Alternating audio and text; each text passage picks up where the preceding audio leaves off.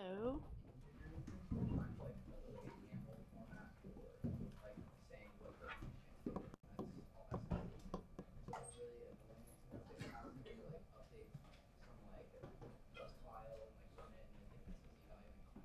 Hello. Good morning. Layer one focus. Um, so uh, just a few things before we hit off with Vitalik's presentation. So um, if you guys have any feedback on the working groups or the structure of the presentations or anything at all, let Jing, myself, or Makira know. Um, it might not be us planning it next year, but the feedback will be passed on to whoever to ensure productive research sessions.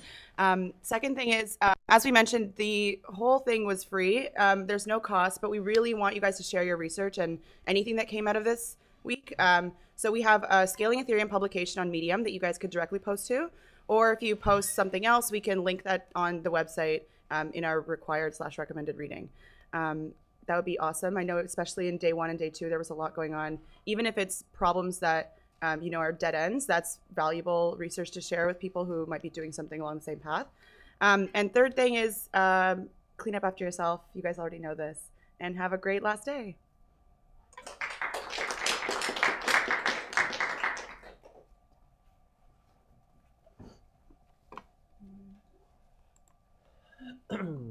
okay, thank you. Um, so today, what I wanted to talk talk about is just go through some of the kind of motivations and uh, trade-offs behind uh, kind of designing uh, the phase two um, specification for Ethereum, uh, for or ETH2 specifically. Um, so for to just give a kind of quick background, and people probably already know this, but Ethereum 2.0 is kind of split into these three phases at first, where you start off with phase zero, which is creating just the uh, beacon chain, which has uh, proof of stake, and it can hold in, uh, hold itself in consensus, but it doesn't really let you do much um, anything except like transfer um, tr transfer ether with like very low transactions per second rates. Um, phase one adds uh, shards.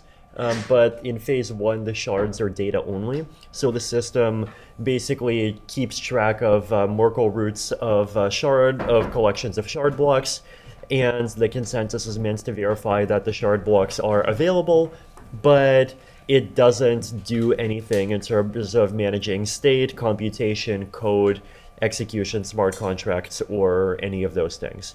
And phase two is meant to add state and add code execution. And phase two is the point at which Ethereum 2.0 is meant to kind of turn into a broadly usable system and like actually kind of achieve what seems to be the, well, well the goal of creating a scalable Ethereum-like system. Um, so start off by talking about the goals. So what are the goals of having phase two? Why not uh, just stop at phase one? Um, so what can phase one do, right? Um, so it turns out that there are things that you can do with uh, just phase one um, on top of, uh, so with just uh, shards having data and a, a non-scalable computation layer. Uh, so if you just have data, then you can make a decentralized Twitter where you can just throw tweets onto the blockchain. And transaction fees will fall that have to do with publishing data on the blockchain. So one of one of them might be using uh, the data in the sharded chains to store information about like key and certificate revocation. You could imagine it uh, storing data like kind of very high, very high level, uh, kind of high value, small amounts of data that different kinds of applications might need you could imagine it just hosting JavaScript pages or uh, JavaScript and HTML for dApps, like just small and basically small and medium amounts of just actual storage, right? So the sharded chain is expected to provide about uh, 10 mega uh, provide and come to consensus on about 10 megabytes per second of data, and there's a lot that you can do with uh, 10 megabytes per second, right? So that's one example of something that you can do. Um, Another example of um, a thing that you can do with phase one is you can build kind of like different kinds of architectures for quote enterprise chains where you rely on the public chain as a data availability guaranteeing layer, but then for example, you could have all of the transactions be encrypted and then you could require people to run special nodes and put in decryption keys and actually process these transactions in order to compute what the state of the system is, right? So you could come up with systems where you use the uh, kind of public blockchain to se provide security for data, but then you do kind of other private things on top of it. And if you do this, then you get certain kind of non-censorship and non-tampering guarantees from from the uh, public chain, uh, but without uh, needing to use any kind of computation functionality of the public chain and without a lot of the costs of kind of fully publicifying whatever your application is. So that's another thing that you can do. Um, a third thing that you can do is uh, ZK rollup. Uh, so if you have uh, a um, Z, uh, a chain with uh, 10 megabytes a second of uh, data availability, then you can make a ZK rollup like system um, where instead of the data that that says what your state transitions are uh, being in the main chain, the data would just be put into the shard chain, and then you would have a zk snark that basically proves here's the old state root, here's the new state root, here is a Merkle uh, proof pointing to a shard block that contains data. Here's a Snark proving that the old uh, state root plus that um, uh, plus that data gives you the new state root and that data instead of being uh, um, in the ETH1 chain would be in this much more scalable layer. And so the transactions per second that you can get with ZK rollup schemes is uh, um, plus uh, data availability theoretically is actually like extremely massive. So standard ZK rollup requires about 10 bytes per transaction, 10 bytes per transaction, 10, mega, uh, 10 megabytes per second of data availability. So we're literally talking about 1 million TPS well, assuming of course you have like really really good uh, proof like uh, zero knowledge proving hardware to actually make that that amount of proofs. Um, if you want to do ZK ZK rollup, so this is the flavor of ZK rollup where the state that's happening, uh, transitions that are happening inside the system are themselves Zcash-like transactions, then it goes down from a million TPS to uh, a relatively tiny, like tens of thousands to 100,000 TPS. So, like, it, ZK rollup type things are on top of a data availability layer are an extremely powerful primitive, and there are a lot of really neat things that you can do with them. So, phase one by itself seems pretty strong, right? So, what can't it do? Um, so, I guess first of all, like what do we want to do, right? So the goal that I kind of intuitively feel people have with ETH2 is to kind of deliver a maximally ETH1 like developer experience, but with uh, 1,024 times more scalability. Um, and another goal is the transition to proof of stake and basically get rid of the proof of work chain, stop issuing Ether to miners, and get the stability and performance of the proof of stake chain for all, all of the applications. Right now, what do we need? Basically, in order to achieve this goal, what we need is some form of computational scalability, right? So real Ethereum applications use both uh, both data and computation pretty heavily, and so intuitively you need infrastructure to do a large quantity, so a quantity larger than any single computer can handle of computation, and also some form of state storage and not just data. So you need compu- we need scalable computation, and we are going to do a scalable data availability, availability layer regardless. But there's actually a lot of different ways of getting uh, scalable computation on top of this, right? Um, so phase two trade-off spectrum here, right? So we can think of this as the spectrum between doing less at consensus, at consensus layer or at least at kind of scalable consensus layer versus doing more um, in the shards. And at the very left here, we have basically the shards being data only, right? So all computation happens right now in the proof of work chain, but, but if we want to get rid of proof of work, then the computation moves over to the beacon chain. So we have computation happening in the beacon chain and shards are completely data only. So things that we can do, uh, ZK rollups, yay. Um, now, what are the weaknesses of ZK rollups? Basically, one of them is that proving is pretty inefficient and uh, hard, um, especially for general purpose computation. So especially once you start talking about snarking or even uh, starking the EVM, then like even though the blockchain theoretically can give you 100,000 TPS, getting that in practice would require a huge ASIC market, and it's very plausible that the just computational resource cost of making a proof on general purpose computation just is going to be even 10 or 100 times harder than the cost of the transaction fee to put this thing onto a blockchain. So this is, that's probably the main challenge.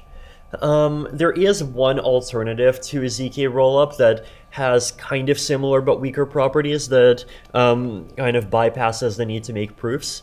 And this is um, an idea I actually had back in 2014 that I of put on a blog post and then completely forgot about it, and now it turns out, yay, it's actually relevant again. Um, this is called shadow chains, um, basically um, because back then we were supposed to have cool names for things. Shadow chains basically is this like the simplest way to think about it is it's like zk rollup except instead of using zk snarks to prove state transitions you have a TrueBit uh, interactive verification game to prove uh, state transitions.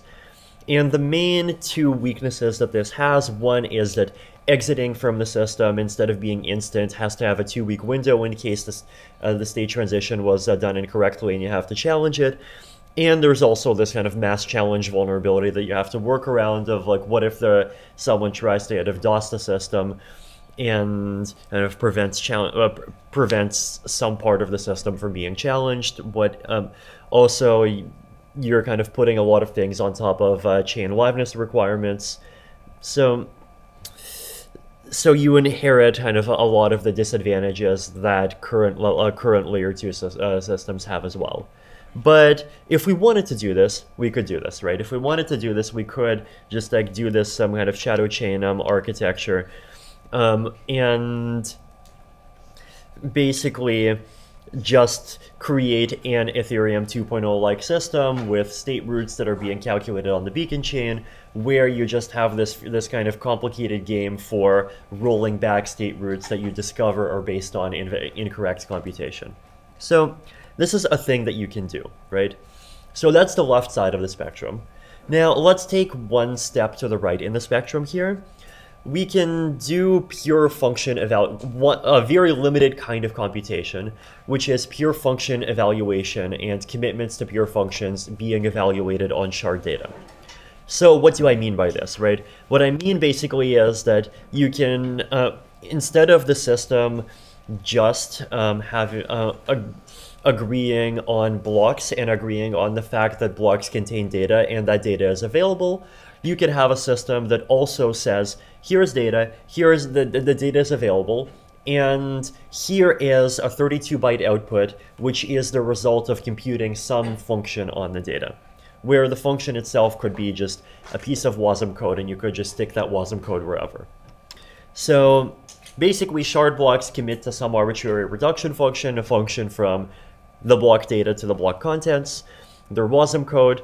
Now, the interesting thing about this approach is that it uh, it adds computa computation capabilities to the sharding system, but it literally does not change the model at all in some sense, right? So what I mean by that is that checking reduction functions of data is something we do already because we have the shard block header already contains the hash tree root of the data. The hash tree root itself is a reduction function. And part of the process of verifying the shard chain system is verifying that the data ha hashes to the thing that it claims to hash to in the header. So if we are already like evaluating functions on data and checking them against numbers that you stick into a header, well, why not have other functions and let people put their own functions and then uh, allow blocks to uh, commit to the fact that some function evaluated on data is some number that you put in a header. And if you add this one bit of computation to the system, then you gain the ability to do kind of roll-up like techniques, basically without having to do either Starks or Snarks or kind of this uh, shadow chain TrueBit based approach. So let's explore like how would you concretely build this kind of system, right? So what you would basically the question is how would you build a usable, scalable smart contract layer on top of just phase one plus the ability to have blocks that commit to reduction functions of data. So here's one approach, right? So you have a smart contract on the beacon chain where the smart contract for every shard stores a state root and a last process slot. And then the contract accepts a Merkle proof of a beacon chain block. So the Merkle proof has to prove that the beacon chain block actually was accepted. It actually was included in the beacon. Uh, sorry, um, Merkle proofs of sorry, this is wrong. Merkle proofs of accepted shard chain blocks. So you have to add a Merkle proof that says here is a shard chain block. Look, this shard chain block actually got accepted in the beacon chain. Look, here is a proof that points to a crosslink. Um, it checks that first of all the slot is um, the slot that's um, in this block is k plus one. Um, then it checks uh, that the reduction function um, runs the block as a stateless client, and it basically outputs here is the pre-state, here is the post-state, right? So the reduction function basically would just interpret the first 32 bytes of block data as being the previous state root, and when you run this uh, tr the transition function in the in the beacon chain contract, it would check, hey, does this shard chain block specify the correct state root? If not, then you just ignore it and you pretend that block kind of never basically never happened. Then, if the uh, first 32 bytes of the block actually are the pre-state, then you would run copy basically pretends that the rest of the block is essentially a, um, a, kind of stateless client Merkle proof doing some state transitions, containing transactions and containing the witnesses for them. So you would evaluate the some transaction. Beacon chain says, well, if the pre-state is correct, then you just set the state root to the post-state. Um, just pause and check how many people understand this. Okay.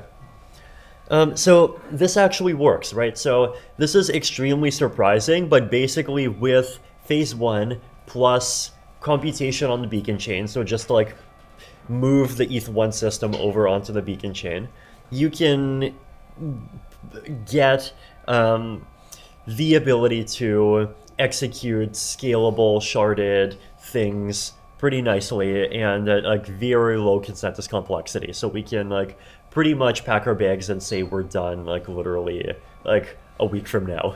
So, yay. Now, what is the weakness of this, right? So, the weakness is that I would argue that this is just inefficient, right? So, it. Um, by the way, how much time do I have? Huh? Eight? Okay. So the main weakness of this is that it kind of inefficiently does things on the beacon chain. It basically, the problem is that you just have these Merkle branches from shard chains that you just have to keep on moving, move, publishing onto the beacon chain. There's this computation that's being done onto the beacon chain. There's all this data. It has to, the beacon chain either has to store a whole bunch of state roots or it has to verify a whole bunch of, and hold a whole bunch of extra Merkle roots. So it's technically kind of scalable, but like in, in the asymptotic sense, but it's really not efficient. So then you go one step to the right, right? And on the one step to the right, basically you have this kind of reducer function where instead of being a pure function on data, you allow kind of state to be threaded through um, at the shard level. And this is the proposal that I talked about two weeks ago, where you have your execution environments, you have your state in the execution environments. Um, we can extend it further, and we can allow, we can uh, create functionality for um, depositing into these execution environments, withdrawing from these execution environments. So basically, like the thing that we've been we've been talking about, where you have code, you you do have functions that are being ex that are being used to process uh, blocks and or that are being used to process shards or shard blocks. But these functions are allowed to carry this tiny amount of state and kind of thread it through between blocks, and where the, the, this tiny amount of state basically is the state roots of the kind of actual uh, actual state of the system that people are supposed to keep track of. And then the actual ether gets all, all kind of at the bottom level gets held owned by the execution environments on the beacon chain, and then the shard chains, or the execution environment itself can kind of define itself in ways that allow users inside of the system to have claims on the ether that that execution environment controls. So basically we're moving from pure functions to these reducer functions that thread state through. Um, iterating more, um, state in shards. So this is the proposal I made three weeks ago, where instead of uh, be, having reducer functions, you would have WASM execution that has access to the state of, or a region of state in shards, and the ability to get and set to it as a foreign function interface. So doing more at consensus layer, and then doing like all necessary logic at consensus layer. So this basically means at consensus layer, you kind of define the full Ethereum 2.0 system. You define how accounts work. You define how the user abstraction schemes work. You define how cross-shard communication works. Like you define pretty much everything, and you basically take this kind of mono, the, the same sort of monolithic kernel approach that Ethereum 1.0 took. So this is basically what the kind of spectrum is, right, between kind of doing less and more. So the trade-offs, as far as I can tell, um, on the left side of doing less, a simpler implementation of the consensus layer. So consensus people can kind of go, um, you consensus US, not consensus YS, can go home and retire more quickly, and consensus YS people have to work harder to actually build stuff on top. um, now, Another interesting benefit that's kind of surfaced recently is um, that you can, with more abstracted models, it's easier to kind of slot in the Ethereum one state transition function while leaving room for um, improving it and making alternatives and competing with it in the future. Uh, so you can base, uh, and then on the right side, basically, um, having a monolithic system potentially has less total complexity um, basically because instead of having the abstraction layer, then the thing built on the abstraction layer, then the glue, you can kind of take out the glue. So if there only is one thing that people want to do on top of the abstraction layer, then it might make sense to just make it be monolithic um, less risk of uh, fragmentation between execution environments. So there, so if you have a highly abstracted thing, then you get this risk that oh, what if a fifth of people are using the ETH1 state transition engine, a fifth of people are using some new and improved ETH2 one that Justin came up with, um, a fifth of people are doing zk rollup, a fifth of people are doing shadow chains, and another fifth of people are running some weird enterprise thing. Then like you lose developer network e even though you're sharing one system. Um, also, there's this question of like which upgrade path is easier. Is it easier to coordinate on a hard fork, or is it easier to coordinate on like getting everyone to uh, application developers to move from one execution environment to another execution environment? So there's like arguments on both sides, and this is one of the things that we could talk about.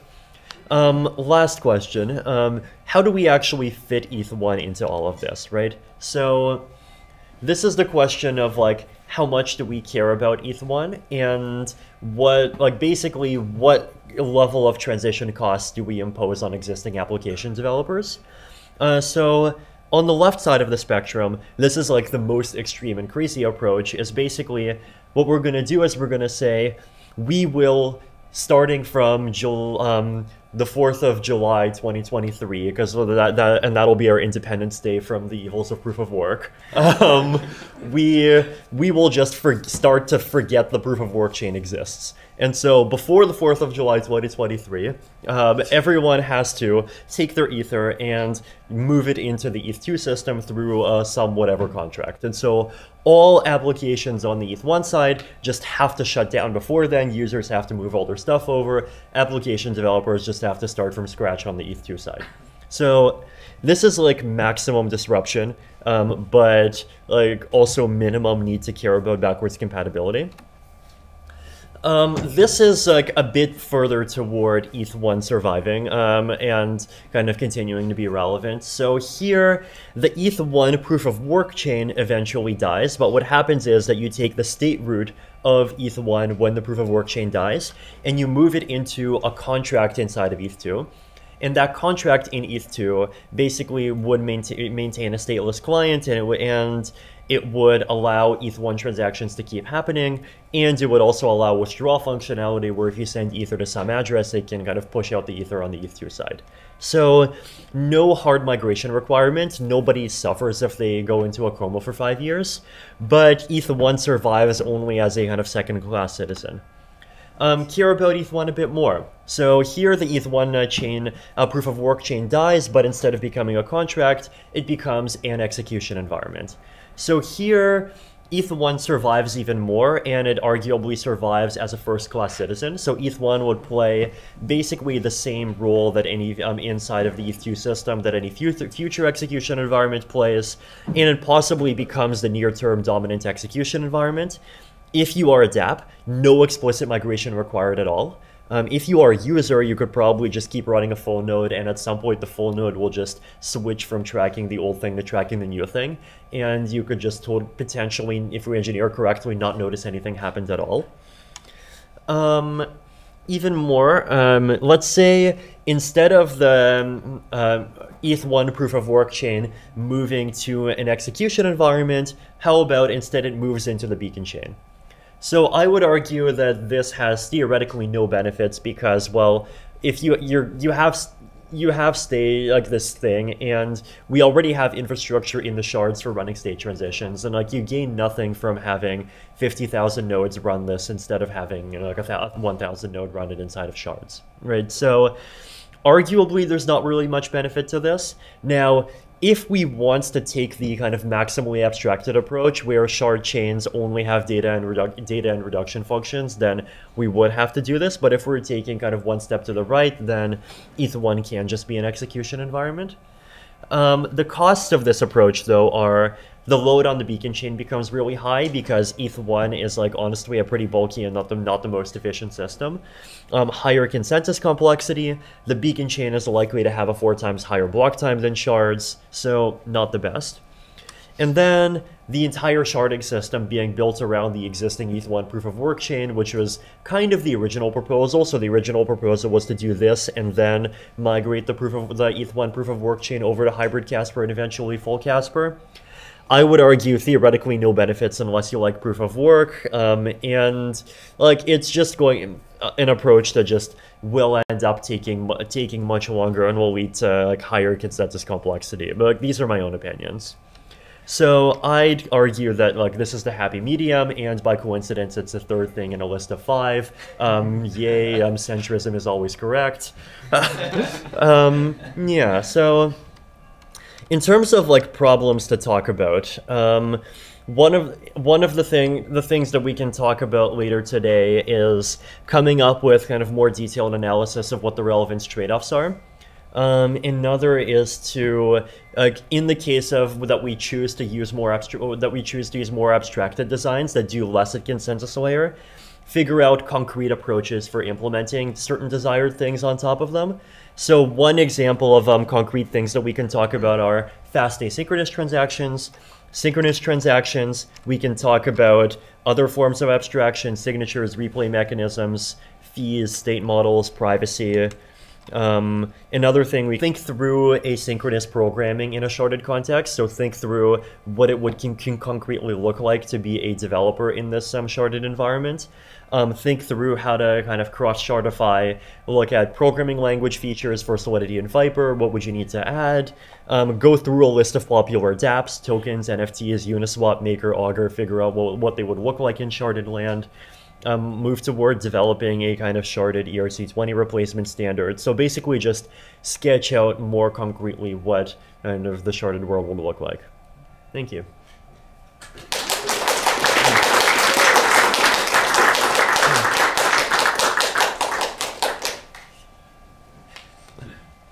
Yes. Uh, so when if ETH1 is its own execution environment mm-hmm. and contracts can just run in there, will they have any idea of like cross contract or cross shard? Mm, good question. Uh, so this is an implementation choice. Um, there's two ways to do this, right?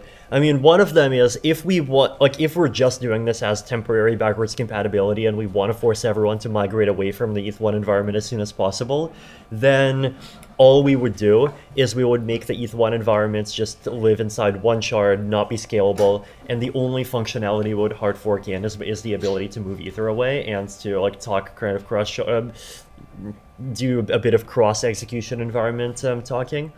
Um, if we want ETH1 to have some more long-term sustainability and take a more an evolutionary path, then you could imagine 1024 copies of ETH1, of the ETH1 environment being created. So basically, it would exist on every shard, and there but there would only be one shard where the current ETH1 state would be pre-mined in. On the other 1023 shards, it would be completely empty, uh, and if uh, that happens, uh, then like basically we would need to add in like basic cross shard functionality to it. So just cross contract calling, cross contract yanking, and that would probably be enough, and people can like. I ex- I don't. My intuition is that it that would not disrupt existing applications, but it would kind of enable new ones. But the, another thing to talk over. What happens for things that like depend on the proof of work? So what happens, like for example, what my contract uses block rock difficulty. Mm. What, what, what happens in here? Yeah, good question. I mean, the simplest answer is that it would just start seeing the number 2 to the 33 forever. Um, yeah. Yes. Um, actually, no, sorry. The other thing I want to mention is that um, the other kind of um, environment opcode compatibility challenge is that anyone who makes an assumption that um, the block number opcode roughly corresponds to timestamp times uh, times 13 is going to have to like deal with that not being true anymore. But yeah, yes. Just quick, th- there's a middle ground, which is we can just throw up a contract that says, hey, you're on proof of work. And then when we fork, we'll, we just pre-commit socially, we're going to flip that bit. So if you want to write conditional code that says after I'm on this, whatever, check this, Mhm. then then you can figure out your own logic for transitioning. It's gonna be pretty cheap. Yeah. Ooh, um, here's a uh, fun one. We um, have a contract where you can submit proof of work solutions for fun. Hmm. Yes. Hmm. How quickly Um, how quick? So like, how quickly can you like move do things for? So, like, Optimistic. at layer oh optimistic uh, one block it should be. Yeah, but like we can talk about this more in this workshop that's supposed to exist apparently. Uh huh. Yes. Do you think that as you move away from proof of work, there will be some proof of work maximalists out there that hard fork themselves? Um, I believe the strategy is to convince these people to join Ethereum Classic because they have an existing community of people who like proof of work. I don't know. I mean, Virgil's been pretty friendly with them lately, so good work.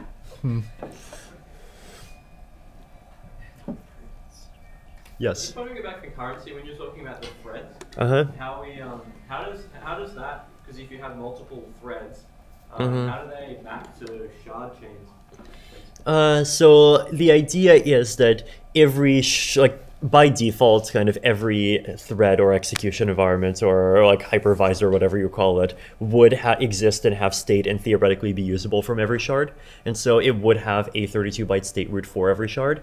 And so a block on a shard would be able to specify either well the simplest approach is a block on a shard specifies the one execution environment that it's using for that shard in which case it would just look into the shard state and see what is the most recent uh, state root for that execution environment and then ad- adjust it. The other option that seems to be popular is to allow blocks to contain like multiple kind of partitions for multiple um, execution environments. Um you know So it'd be like the like the instruction set lives on the beacon chain. Mhm. and then it is executed. Yeah, yeah, level. yeah. Code lives on the beacon chain. Execution happens in the shards. Option five still gets you the proof of stake, just longer. Yes, yes, What it can. Like, no. Mm-hmm. Isn't it a better idea to like, you know, not try to do two crazy things at once and instead like stagger them? It well, it depends, right? Because like our community is big at this point, so like why not get gains from parallelizing would be one answer. Um, arguably, yeah. And then uh, like the other thing is that you there's a lot of benefits that you would just kind of not get in the meantime. Um, so like for example in order to have sharding, you pretty much have to have proof of stake because it's harder to make sharding be secure with proof of work. But then if you have proof of stake, then there's less point in running the proof of work thing. Yeah. Yes. Can you move back to the spectrum with uh, pure function and the reduction function? Mm-hmm. Um, can, can you clarify, like, in, on, the spectrum, where the verification of actual transactions take place, like on, on the shards, or Um, are we talking about option two or option three? uh, so what's the difference? Option two, in this regard? option two is just like the the the system uh, verifies evaluations of pure functions on uh, block data, and option three is it it verifies evaluations on reducer functions, which basically means that you're allowed to kind of thread some state through between blocks on the shard. Um, so in this system, like the in in option two, the kind of heavy duty like there needs to be a lot of like heavy duty logic happening um, in smart contract execution on the beacon chain. And so you have these kind these kind of gadgets that exist on the beacon chain whose purpose is to kind of manage this system which is which facilitates execution happening on shards. But and Okay, so more concretely, right, let's say we have a transaction where, like, let's say we have a mixer, and you, you, you, and you send send one ETH into the mixer, and you, you, like, then you, you, and you take money out. So, in order for this to happen, there need to be six, like, the mixer needs to be published, and there need to be six instances of people putting data on the blockchain, and six instances of something being run, right? So, in terms of like who would be acting on each uh, uh, in all cases so all six times the data would be on it would be put onto shards um, the actual execution so verifying the zero knowledge proofs verifying the deposits um, uh, transactions like that would be that would happen as part of running either the pure functions or the reducer functions so the reducer function would basically have logic that says for every like interpret the block as a list of transactions and Merkle in a Merkle proof, and for every transaction, uh, just run whatever the transaction like, uh, says to run. And so basically, that would like your like, one of those transactions would be, hey, I want to take money out of this mixer, and so the transaction would say, or the the verification code would like actually run the EVM code, like uh, the EVM or EWASM or whatever code of the transaction, and then that would contain logic that says, "Hey, run these things that correspond to verifying a verifying a snark." It would just do that, and it like the outputs of that would just all go into the state root that it pushes out at the end. So this evaluation takes place on the shards, or Um, yeah. So in terms of who does this, it's done by default by the shard committees. Yeah. and, and then the results are pushed on the the the results the results are pushed as a state root onto um, in this um, in this case um, uh, onto the beacon chain. In this case, they just stay as part of shard state. I see. So we, we always operate on one shard. We can only take data from one shard and maybe Not one state. necessarily, right? So the idea, well, the idea is that each of these systems would, yeah. So the execution kind of individually operates on one shard, except like you can give these functions access to historical data like beacon chain roots, and they can use that to verify receipts from other shards. Hmm. Yes. Which options allow you to combine both the crossing community the short communities? Good question. Um, if we want to do this, then basically two and three. Um, the reason is that four would just make it too expensive to um, switch between. Uh, uh, like four makes means that you have to do a fast sync every time you switch committees, which basically means the committees have to last at least a week or whatever it is. Hmm. Yes, Hara. Where are you leaning in this uh, chart? Because you didn't give. a- Oh, on this chart, I didn't give a happy medium. Um, I mean, the last proposal I gave was three. Um, I, I mean, two feels mathematically more pure, but three feels practically more better. But mm, yes, You know where Polkadot's design falls on the spectrum? huh? I'm. I mean, they definitely ha- they, they definitely have data shards. They definitely have like some kind of function evaluation. They probably have state and shards as well. So, I I don't know the details. If I had to guess, I'd say four. Mm, mm. It's like if you had a one-to-one mapping of execution environments to shards. Okay. But right. So then but like do are there in Polkadot are there do nodes uh, kind of bounce bounce around between like verifying execution environments? Yes, okay. Uh.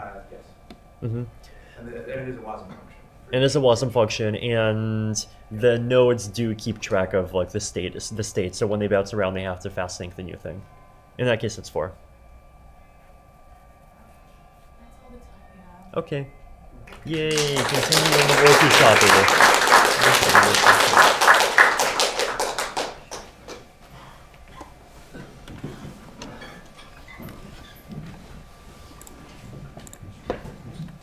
So use this two. Okay, these two, and then I can just click. All right, cool. Um, so I actually will uh, compare uh, some of the current design um, suggestions to Polkadot. Uh, so I'll go into that a little bit. Yeah. Um, and in general, there are three talks this morning around phase two. Uh, so after myself, uh, Casey from eWASM is going to talk about it as well. And so there are kind of three, I guess, different uh, different perspectives to share on on the proposal. Um, so yeah, um, and again, this talk this morning is about what the design space is currently, uh, mainly about uh, Vitalik's latest proposal, um, giving some concrete examples and various things, and um, explaining some of the work that uh, we're specifically doing to help support the efforts around this. So all of this is an open space um, and still being discussed and um, but the main talk of, or the main goal of this talk is to give a general, um, I guess, explanation of everything. Um, so first of all, uh, right now it's uh, myself and Matt. We're part of a team called Quilt. Matt, if you can stand up and raise your hand or something. Yeah. And so we, um, uh, our, our purpose is to help with the specification, uh, prototype, iterate, benchmark, um, and uh, help uh, you know bring community involvement as much as possible towards work around phase two. And we are um, a part of R&D in Consensys. Um, so I'm the next few slides. Uh, you guys are all very smart, and so I imagine um, I'll be repeating things that you already know. But I think it will be really cool to give kind of a foundational understanding of things that can help share the story of what the current proposal is. Um, so the story of sharded chains. So uh, we started off, uh, Bitcoin uh, showed a strong use case of underlying technology, POW. Um, Ethereum came along, provided flexibility um, and uh, smart contracts, general smart contracts in general, which um, really it seemed like uh, developers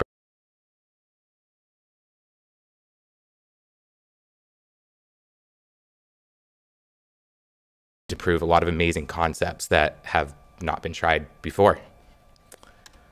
Um, and then eventually uh, these systems reach capacity. Um, and so there was discussion of a number of uh, solutions to go ahead and augment that.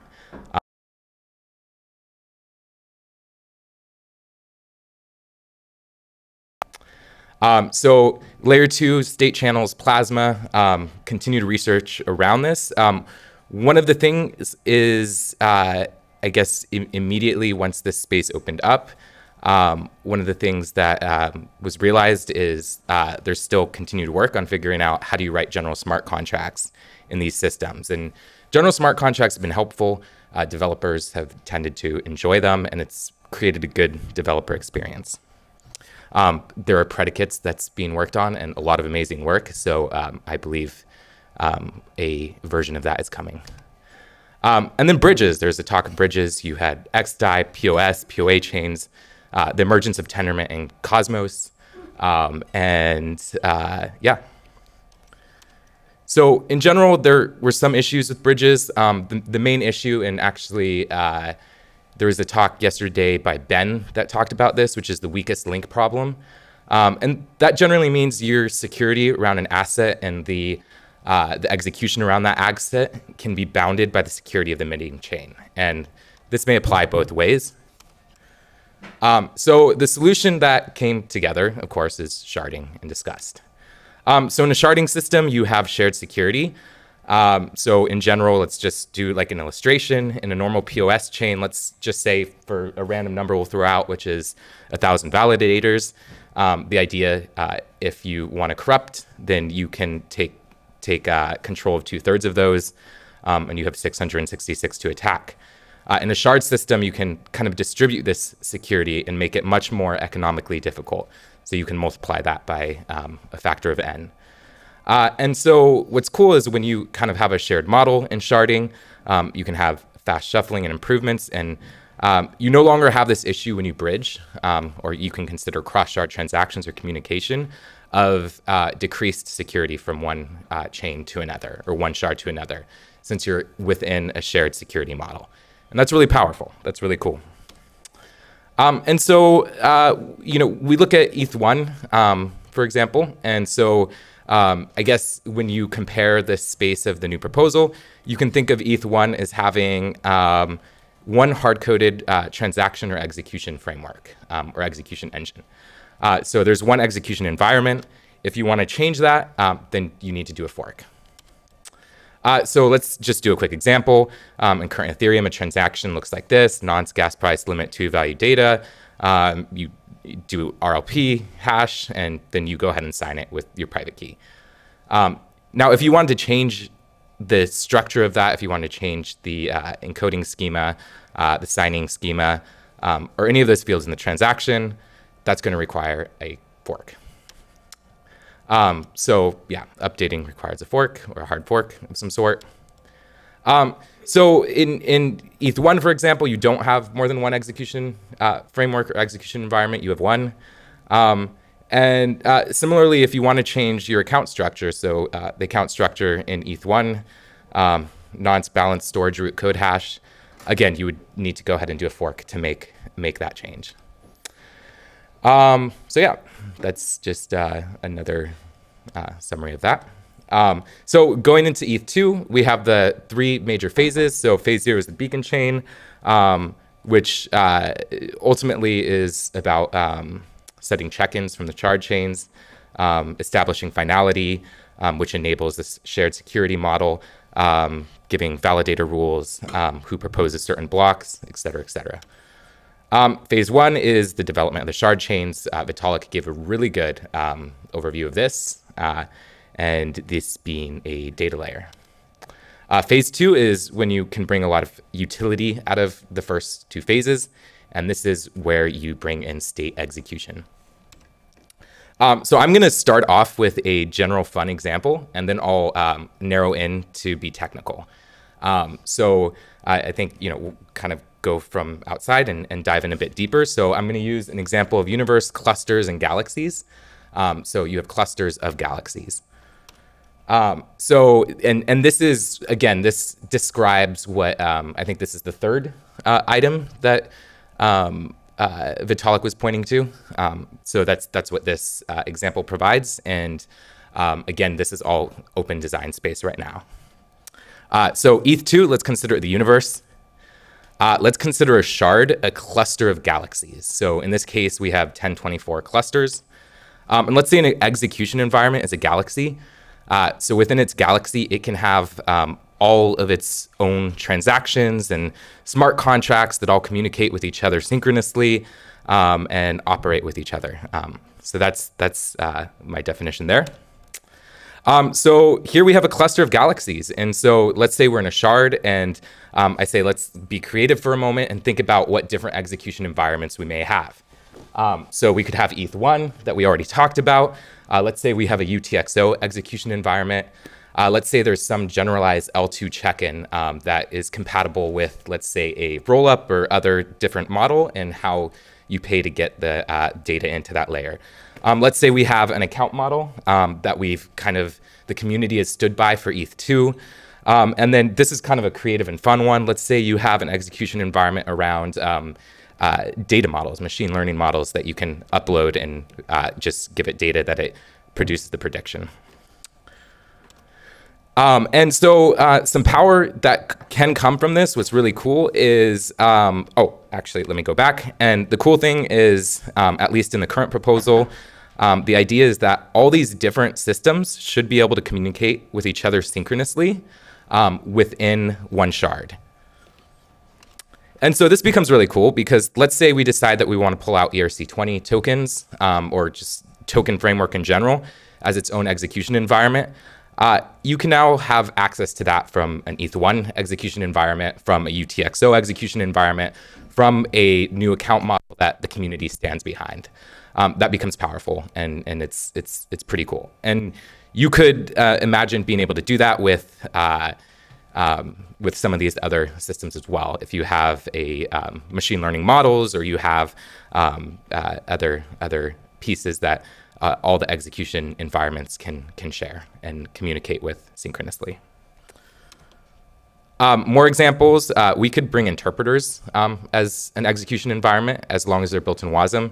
Um, you could begin to build TEEs, secure secure enclaves, enclaves um, uh, oracles, uh, so you could have shared Oracle networks. So that's another thing. Um, that's a good example um, if you want to share an Oracle network across different execution environments. Um, and then what's interesting, at, at, least in the current proposal, um, and again, all these things, you know, could could theoretically change. Um, once you have an execution environment, that execution environment may live um, and can live on all the shards, all 1024 shards, unless it restricts itself, as an example. Um, and then cross cluster or cross shard communication, um, you can assume will be asynchronous. Um, and the rules behind that will be defined in the execution environment, and I'll talk about that in a little bit more depth in a moment. Uh, so just a quick review, there's 1024 shards. All execution environments can live on every shard. Um, synchronous communication within a shard uh, between execution environments and asynchronous across shards. Um, and rules are defined in the execution environment. So let's uh, dive a little bit deeper. So Vitalik talk, talked about this, um, which is awesome. So uh, we now introduce uh, this concept, uh, or could introduce this concept of um, the beacon chain storing a set of pure reducing functions. Um, and these pure reducing functions are basically the rules by which transactions or these execution environments operate under. Um, so let's start off with an example. So um, in ETH1, you could consider um, this uh, you you have a pre-state S, um, you have a block of a set of transactions, and really what's pumped out is um, a post-state S prime. Um, and then if we look at a, what a reducing function might be, and we create a stateless system, um, we could have a root hash or a state hash here to a post-state hash. And so you could almost think of ETH1, um, there just being this pure reducing function on the beacon chain that transforms pre-state root hash to post state root hash prime in this case. So then let's uh, look at the beacon chain. Um, so let's say we have one uh, um, execution environment, that pure reducing function that defines ETH1. That's the first one. The second one defines this UTXO environment. Um, and the third one defines this account-based um, model. And so um, e in each of these, we have a root hash, pre-root hash, and a post-root hash. Um, and you can consider these as independent reducing functions, uh, generally pure reducing functions. Um, so uh, I don't know. Um, so in, in this case, you can basically define what your state might look like in the stateless model, however you like. So for example, we have a Patricia Merkle tree in the current uh, Ethereum ETH1 environment, um, and that may iterate to other things. Um, as the like most simplest example, Let's say you just had a key value storage of just accounts with value that enables transfers. Um, EWASM, so uh, just get everyone on the same page. Um, so uh, state execution happens in, in this model within the consensus of each shard. Um, and everything is based in EWASM. Um, you can assume EWASM is a subset of WASM, um, building metering and concept of gas, including a number of host runtime functions to node specific operations. So if you need to access shard slot, shard number, slot number, uh, pieces from the beacon chain, um, these are runtime uh, functions and calls.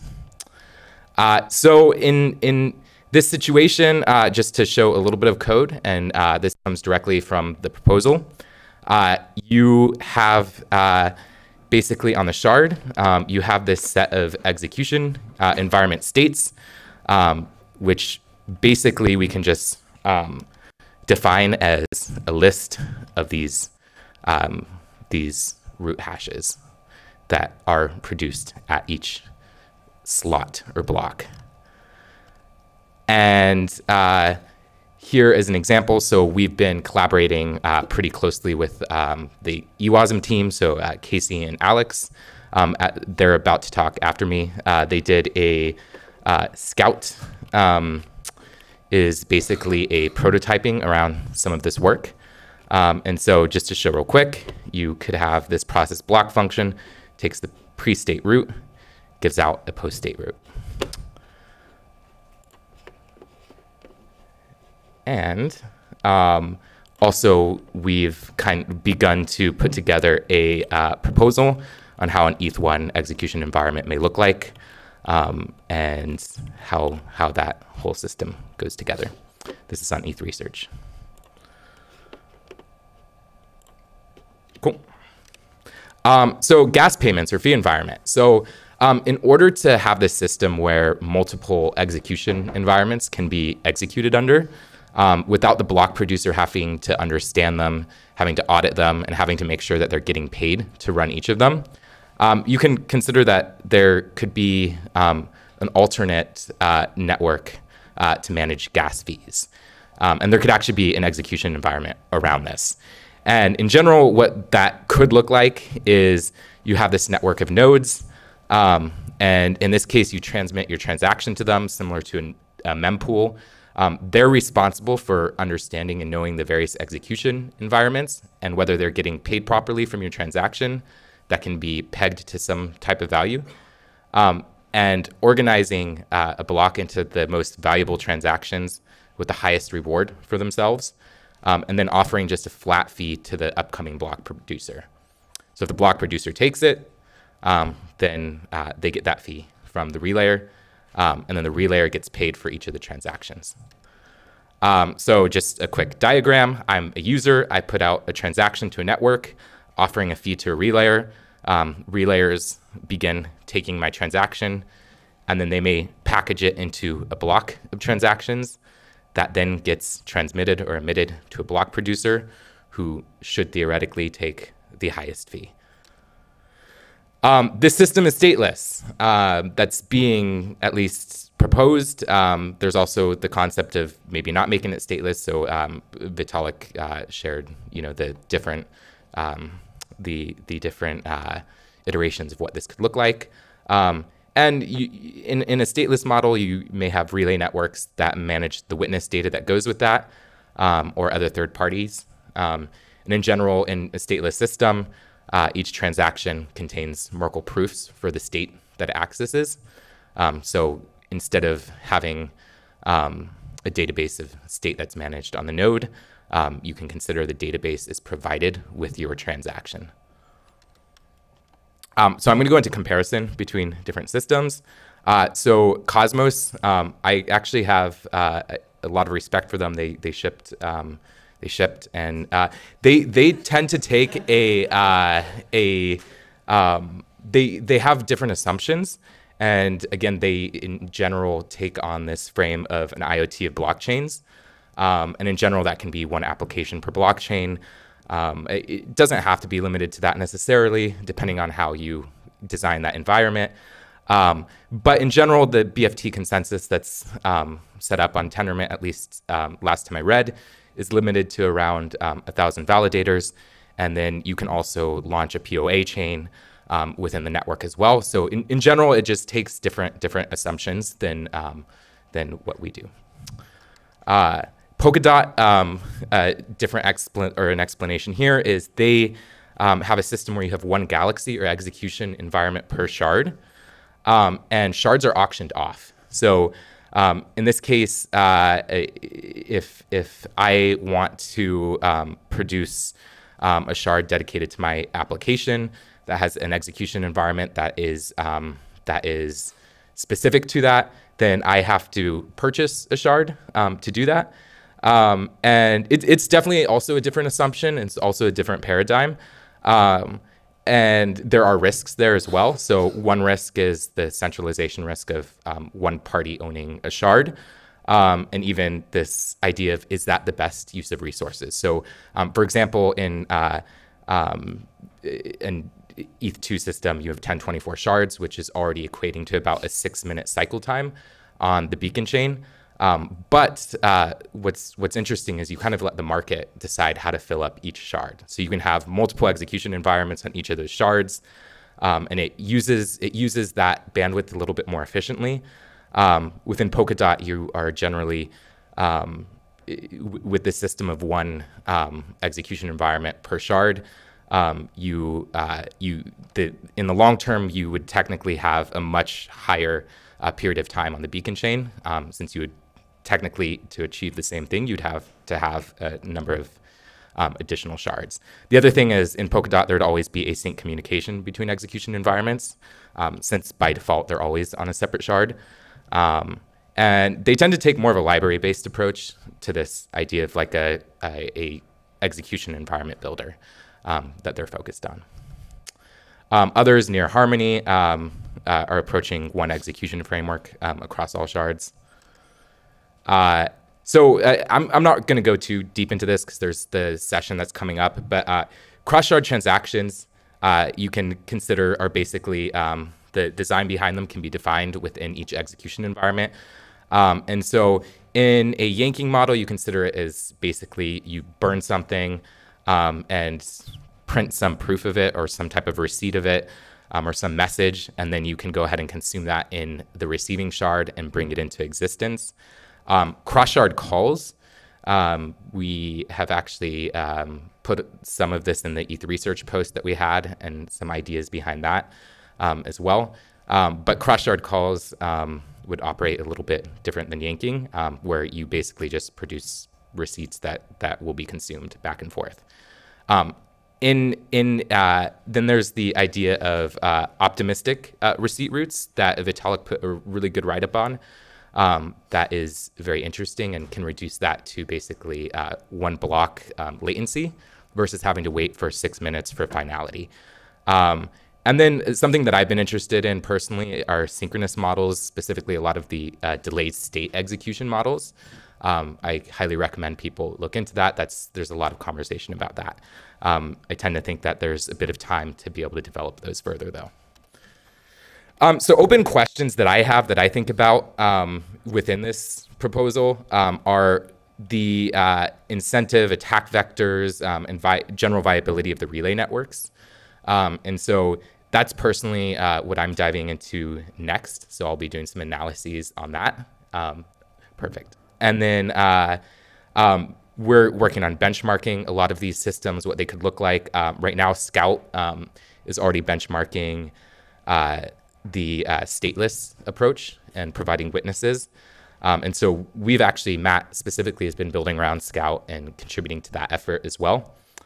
Um, talking about ETH1 to the ETH2 transition, um, we've put a ETH research post regarding this. Um, Matt, Matt posted specifically. Um, I, there are questions on the optimistic async transaction mechanism, how that would be implemented in practice. Um, and so again, we'll talk about this in the workshop.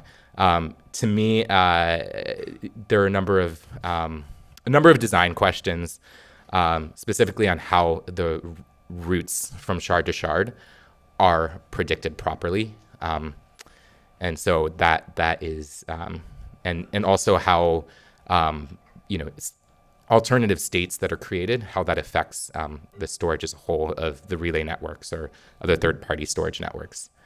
Um, synchronous cross-shard transactions are super interesting. Uh, the, what the Ethereum execution environment will look like. Um, ETH2 execution environment as being a, another execution environment that the community stands behind that's more iterated. Um, and then there's even a question: Do you have to, um, you know, what, how how is that approached? Um, Scout EWASM, what they're working on, um, we're here to also support a lot of those efforts as well. Um, so current work, um, I won't go, I think I'm out of time. Um, but we actually built some early prototypes and examples um, uh, with uh, um, on work around phase two. Um, and again, just continue to build and research and prototype and benchmark these things. That's all.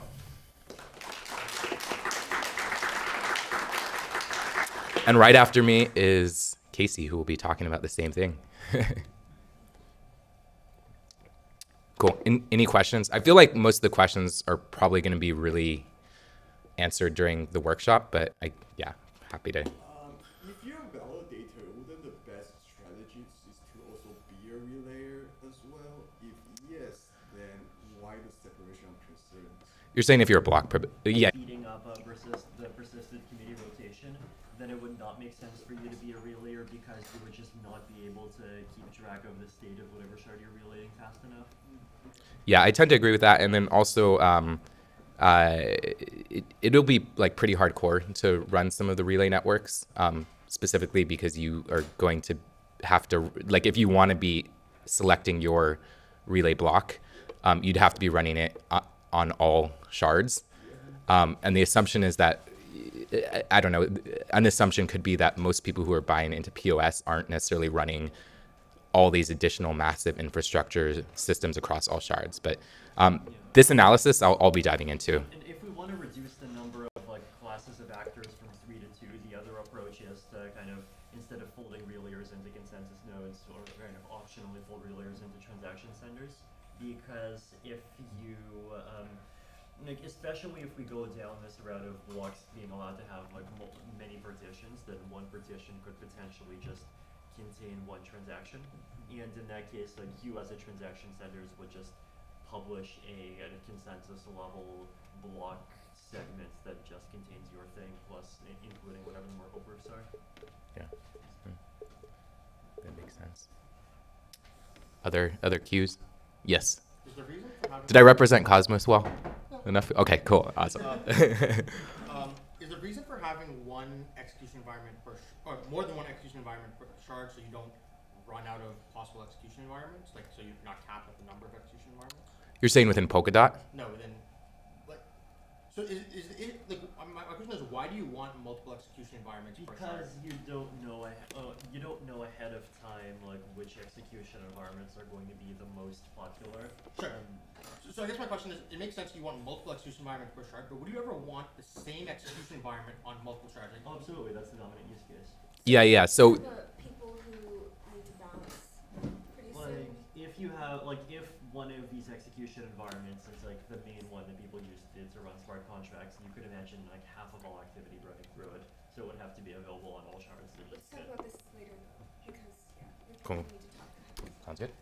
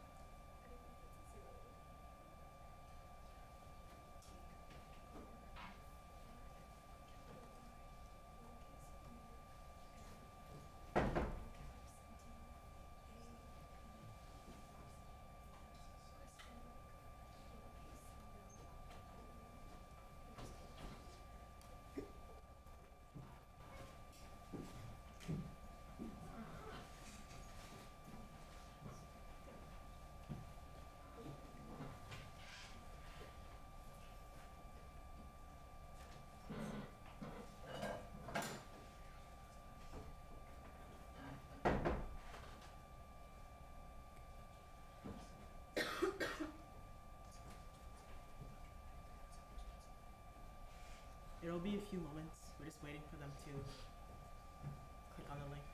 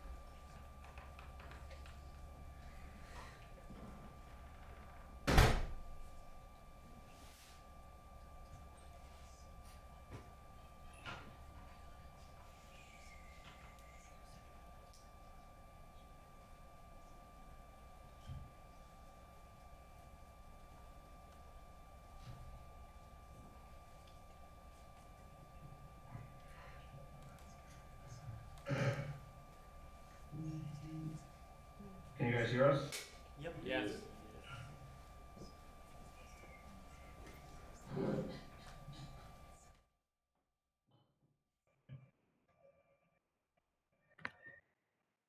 Hello? But we won't hear them, I guess. Can you guys hear us? Yep. Yes. Do you have Can you see us? the YouTube on?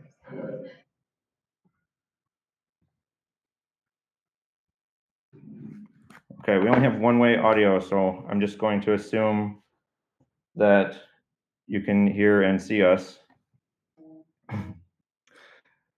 Uh, yeah, I'm Casey. This is Alex. We're on the EWASM team. Let me get the slides loaded up. Because while Casey is loading the slides, uh, and then we are trying to uh, have some really cool diagrams, and hopefully it's going to explain how all the different phases is going to work with execution. Um, and lastly, we're going to look at some of a, a proposed roadmap, um, as well as going to deep dive into Scout, uh, how to use Scout, how to get involved, um, and what Scout is. Um, do you guys see the slides? Great. Um, all right, Casey. So it's it's you then Oh, with the history. thanks, Alex. Yeah, I, I did propose this to the organizers as a separate talk, but they said day three was all about phase two, and I guess um, phase one and done doesn't sound like it sounds like it's about phase one and not phase two. Uh, to better understand the subtleties around phase one and phase two, I think it's worthwhile to step back and run through some history, uh, which we'll just have to do that quickly. So the history of ETH2 execution and the distinction between phase one and phase two actually started with the Casper prototypes at the end of 2015 and beginning of 2016. Uh, these were the old days when Casper was consensus by bet. It would later pivot to consensus by justification, but even at consensus by bet, there was a curious feature. So Casper back then had two betting cycles, had the block hash betting cycle and the state root betting cycle. These two betting cycles separated two processes. Um, coming, the first process was coming to consensus on block order, and the second one was uh, process of executing the transactions in those blocks. The realization that these two processes are fundamentally different became more and more important. Uh, so a consensus game was needed to solve the data availability problem. That was the hard one. If that's solved and you have consensus that blocks are available and they're in some given order, then transaction execution is easy by comparison because it's just a verification game. So you can use TrueBit to solve it, or maybe shadow chains. I'm not sure because it's been a while since I read that blog post about shadow chains. Um, so fast forward to 2018. Right, the the ETH2 architecture was built on this realization that we only need consensus on the order of data blobs, and we don't need to worry about executing the data blobs or processing the transactions in the data blobs uh, in the in the consensus layer.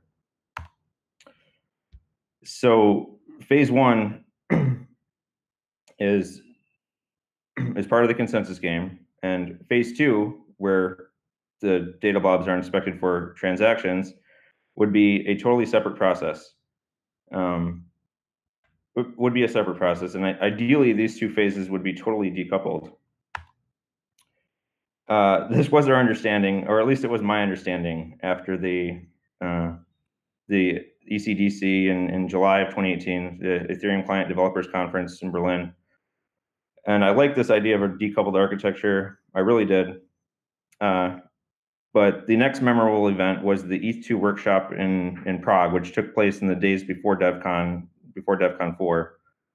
There was a spec for phase zero and there was a spec for phase one, but nobody knew how phase two would work. The, the lack of clarity around phase two hit me particularly hard because somehow I was nominated as facilitator of the phase two working group. Uh, was, well, Danny asked me to, I guess, and nobody else volunteered. So when I gave our working group summary to all of the workshop participants at the end of the day, and all I could say was, well, one takeaway is it seemed like seems like delayed execution might be simpler because Vitalik came over and said so in the last 10 minutes. To say that people felt un underwhelmed by progress on phase two uh, would be an understatement. Uh, entering into 2019, the situation was much the same as it was in mid 2018. All questions remained open. The design space was still huge. The possibilities were endless. We didn't know where to start. Uh, how will state rent work? Will we use immediate execution or delayed execution? Will all validators be executors or will executors be a different role? Uh, if if the if phase one and phase two are decoupled, then there's you know executors. In theory, it should be possible to have them as as a, a separate role, a separate node type. And then everyone's favorite question: How will cross shard calls work? All of these open questions led to a tension between the the EWASM team and the research team. The research they wanted us to tell them how things would work, and we wanted them to tell us how things would work. Eventually, I lost my patience.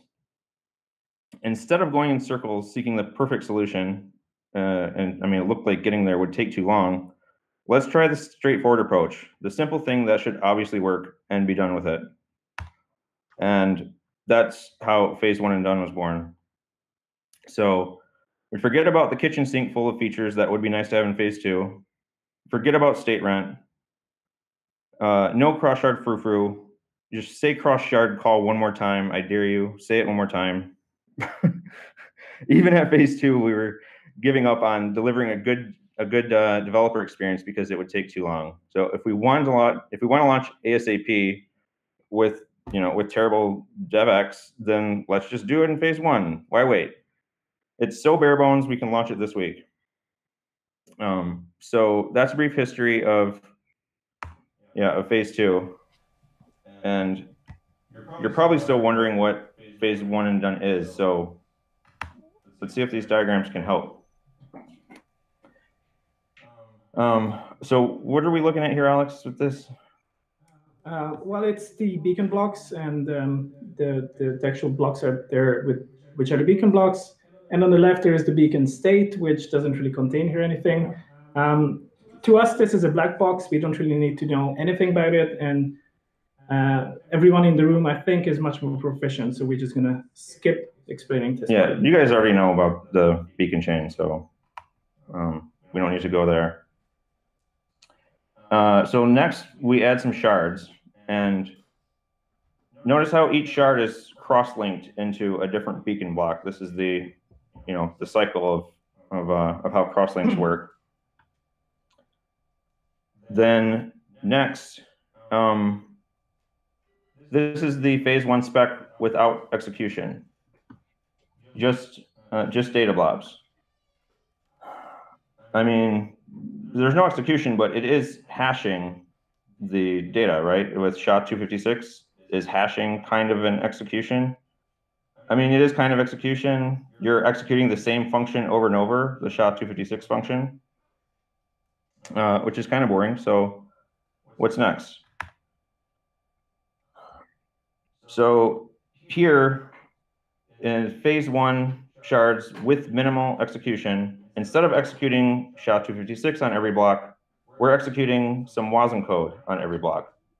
It's really not that different. It's just that the execution engine runs WASM code instead of running the SHA-256 function every time. So, so this WASM code, which layer is that on? Um, which layer is the WASM code on? Let's see, the next slide. Well, look. If WASM code is code that users deploy, then it's not at layer one, is it?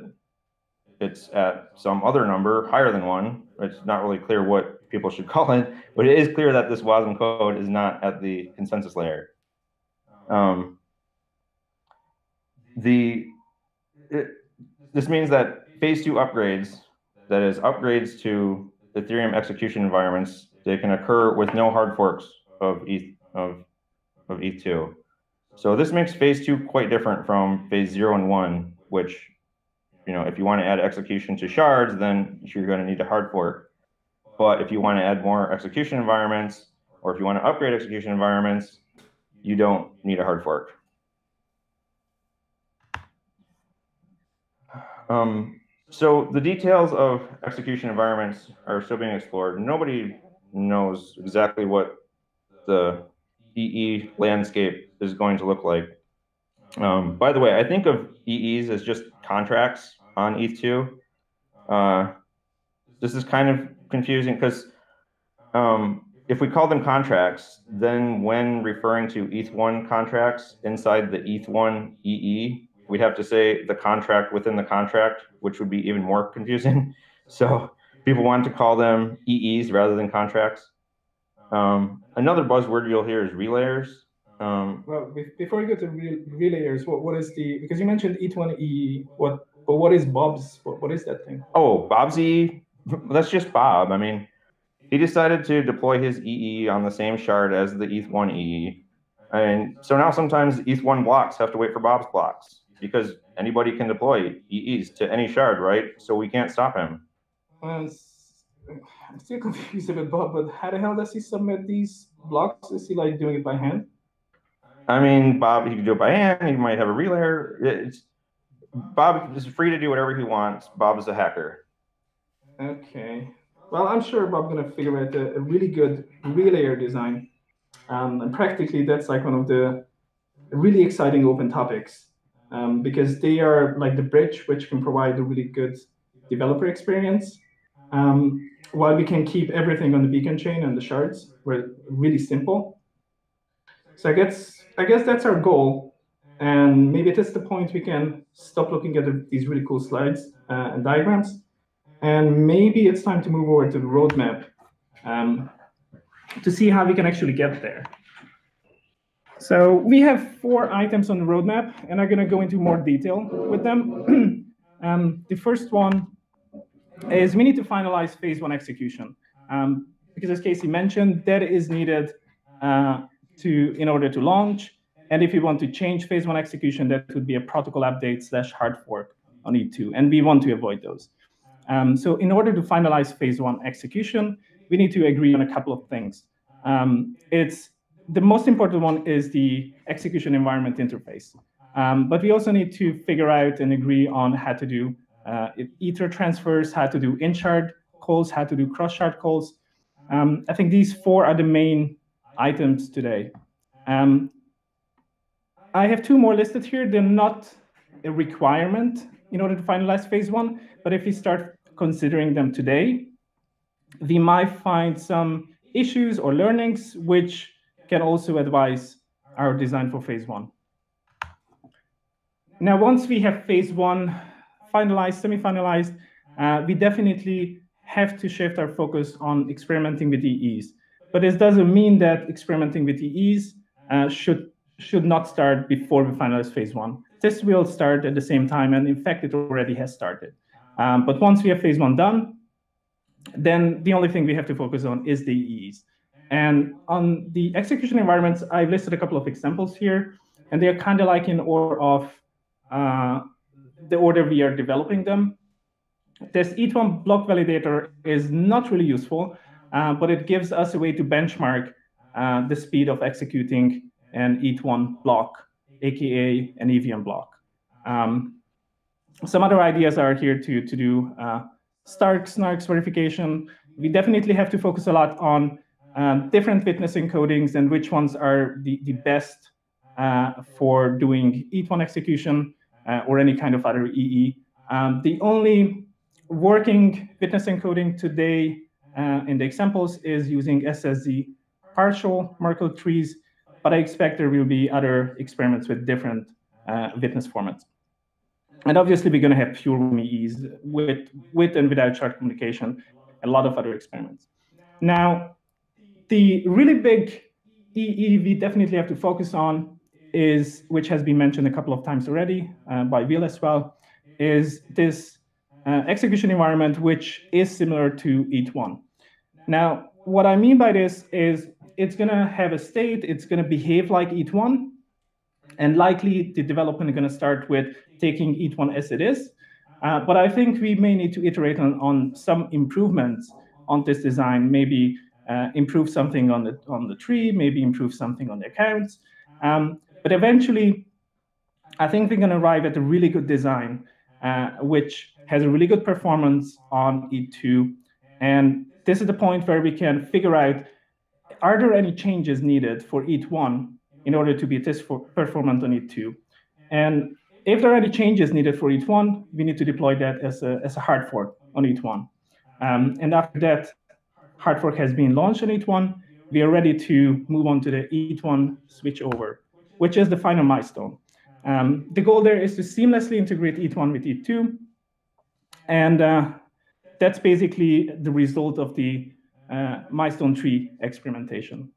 It's going to be the hopefully the last ETH1 protocol update, uh, moving the entire state into a shard. Uh, Vitalik has mentioned how it's going to work is uh, on his like five uh, option scale. And I don't think we mean here that we would move the entire data uh, of each one into a shard. Rather, we heavily focus on using relayers uh, to take control of that data. Uh, and we keep the shard as minimal as possible. So that's like briefly the four milestones we have in mind today. Obviously, this could change, um, um, but I think it's a good good milestone list to start with. All right, so move on, moving on to the practical progress, what actually exists today. And I think this was the title of the presentation initially. Um, this is about EWASM Scout, uh, which Will has mentioned a few times in his talk. Um, so what is Scout? Uh, we have announced Scout probably two weeks ago. Um, the GitHub link is, uh, is Scout itself. It's a monorepo. It has a couple of things inside. I'm going to explain those. Uh, but there's also a longer ETH research post, which explains the, the goals, uh, some of the design decisions we had made two weeks ago, which, which of course are subject to change. And it also spawned a conversation between uh, Matt, uh, Vitalik, and myself. So I think it's definitely worth checking it out. Um, so Scout itself is a uh, execution engine for ETH2. It is based on Vitalik's proposal too, but of course it can have some changes and, and already have some uh, deviations to that. It black boxes everything from phase zero and phase one uh, up until the tiny amount of features we need uh, for Scout. Um, so Scout itself um, defines an API for these execution environments, and let's just call this API the EEI. Um, and the EEI is a term coming from EWASM, uh, where it meant Ethereum Environment Interface, basically the set of methods a contract can use to interact with the state. Um, and I think the naming still applies here, although we could also consider naming, um, uh, naming it as the Execution Environment Interface. Uh, but basically, the EEI is the set of functions uh, these E2 contracts slash EEs uh, can use. Uh, so Scout is defining these. Scout is also defining a test format and gives a tool which can execute on that format. Um, it is a mono repo, so it has a lot of, well, only two examples right now, but a lot of other examples are coming. Um, so it has example EEs. And one of the main goals of it is to support benchmarking uh, of these different EEs. Um, because the goal is to figure out the best design, uh, the most performant design. And benchmarking is a key element in that, uh, that process. So Scout itself is written in Rust. It's only 400 lines of code. It's very simple. And anyone who wants to work on EEs uh, doesn't need to understand Scout or Rust at all. Uh, it is just there. It works. Uh, it uses uh, WASMI, which is a WASM interpreter, uh, but the code is designed to be flexible to support other engines or even multiple engines, um, um, especially in order to benchmark them. The test format itself is YAML, and I'm going to show some examples later on. The execution environments are, of course, WASM bytecodes. And we kind of expect that when, uh, so basically Scout should help us drive the conversation and design decisions on the phase one uh, execution environment spec.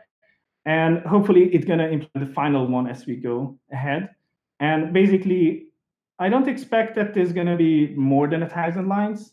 Um, and the goal is that those are the thousand lines, each of the E2 clients. Oh, there's a typo there. So each one of the E2 clients uh, would need to integrate is like this four or thousand lines of code, and they would be ready to execute uh, everything we have shown so far. Um, now, a bit more on this execution uh, environment interface, the EI stuff. Um, so Casey mentioned that basically the execution of our environments are like contracts.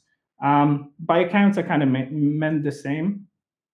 Um, and basically, the reason I mentioned it uh, is this slide is showing what are the inputs to the actual execution and what is the output.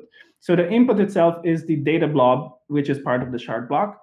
And in, in the execution environment account in the shard state, uh, we have a pre-state root. And this is the input. And then the output, we're going to return a modified, a new state root. And optionally, we can return a list of uh, deposit receipts to, to move uh, ether around. Now, this is just here for completeness. It shows the actual WASM API. E2 is a namespace in WASM, uh, and, and the stuff after the two columns is the, the function name. Um, so basically, this matches the, the previous slide. We have this load pre-state root, uh, which loads it into memory. Uh, these two for block data are uh, the way to get the, the, the block blob. Um, and then the, the saving of the state root and the deposits. Now to have a brief look at what kind of EEs we have right now. So in Scout, in the, the repo, the two, the two only which are merged in uh, is a hello word and a bazaar. And both of these gonna have their own slides. But we have had in the past week or so a lot of people working on, on different execution environments to get them familiarized with it. And I listed here a couple of them. Um, the AssemblyScript one is really interesting because it shows that uh, even though Scout, the example ones, are heavily using Rust, but there's no need to use Rust to write execution environments. It can be written in any language which compiles to, to WASM. Uh, of course, today the two mature languages are uh, Rust and C, um, but there are up-and-coming languages which also uh, can be compiled to WASM. Uh, we also have a uh, another example which does Snarks verification. We have BLS signature verification, uh, a token contract in C, and there are two bigger efforts to, to work on this ETH1 environment as uh, in an EE. Um, now this is the hello word. I just wanted to show uh, what it looks like in Rust. So the only important part here is we're loading the, the pre-state root, which is this 32 byte hash. And we ensured that there was no data sent. And because there was no data sent, there was no change made to the state. So we just saved the same state we started with. So that's the hello word, and that's implemented in Rust and AssemblyScript. Now the bazaar is a bit more complicated, but because it uh, it maintains a state, uh, but of course we don't really have in the beacon state we don't really have a place to put uh, this state. Um, so therefore, the there must be a witness uh, of the state we're modifying. This witness has to be submitted as part of the blob, the as part of the block. And here, these three um, object descriptions are following the SSZ notation from the E2 specs. Uh, the input block is, is of course the incoming block. It has the uh, the pre-state, and it has the new messages we're applying to the state. Um, I don't want to go much deeper, but whoever has seen the SSZ specifications in E2, this should be pretty self-explanatory. Uh, so the bazaar would be a good place to start working on EEs. Uh, so briefly on the test format, um, it has three parts. Uh, the beacon state stores the codes, uh, but we're operating on shards. Um, so on the shard, we have, of course, the, the pre-state, the post-state, and we can have any number of shard blocks. Um, I don't want to go much deeper in, in, here, but here's a much more complex example, which actually uses uh, three, uh, three different blocks and uses two different execution environments. So all of this is working. Uh, and basically in Scout, the there are two things someone needs to do in order to use Scout. They need to write this YAML file and they need to create a WASM bytecode, which is the execution environment. Uh, Scout takes this YAML file, executes it, gives you the result. That's it. So the next steps on Scout, we, we have to add uh, new examples and we want to add a framework which uh, would enable one to write in the same code base, uh, from the same code base, generate an execution environment bytecode as well as generate a relayer. Uh, and of course, initially, this relayer stuff would be just a CLI tool which generates these test cases. But eventually, of course, they could grow into actual useful relayers. Um, we want to we want to support multiple WASM engines. We want to make the interface much more friendly, and we also want to display benchmarking results on GitHub. And this is the exciting part. Um, I guess this is the time to get involved and be an EE wizard. Um, so the only thing you need to do is create this execution environment, write a test case, submit a PR, uh, Scout benchmark these and we'll tell you the results. And once you did that, you can also join our secret EE discussion channel, the Wiz Club. Thank you guys for listening. If we do have a minute or two for questions, we're happy to answer any of them.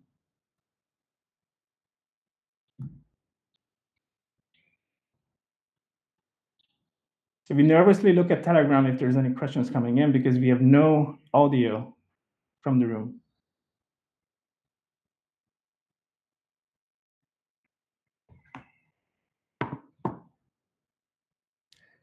No questions. All right, talk to you on, on Gitter then.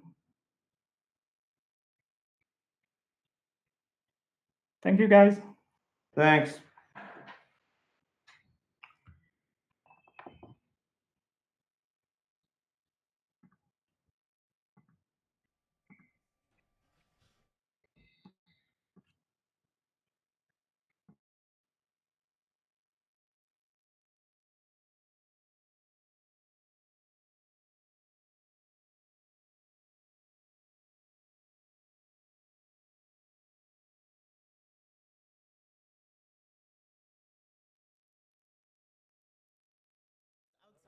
Having a conversation. Hi, everybody. Uh,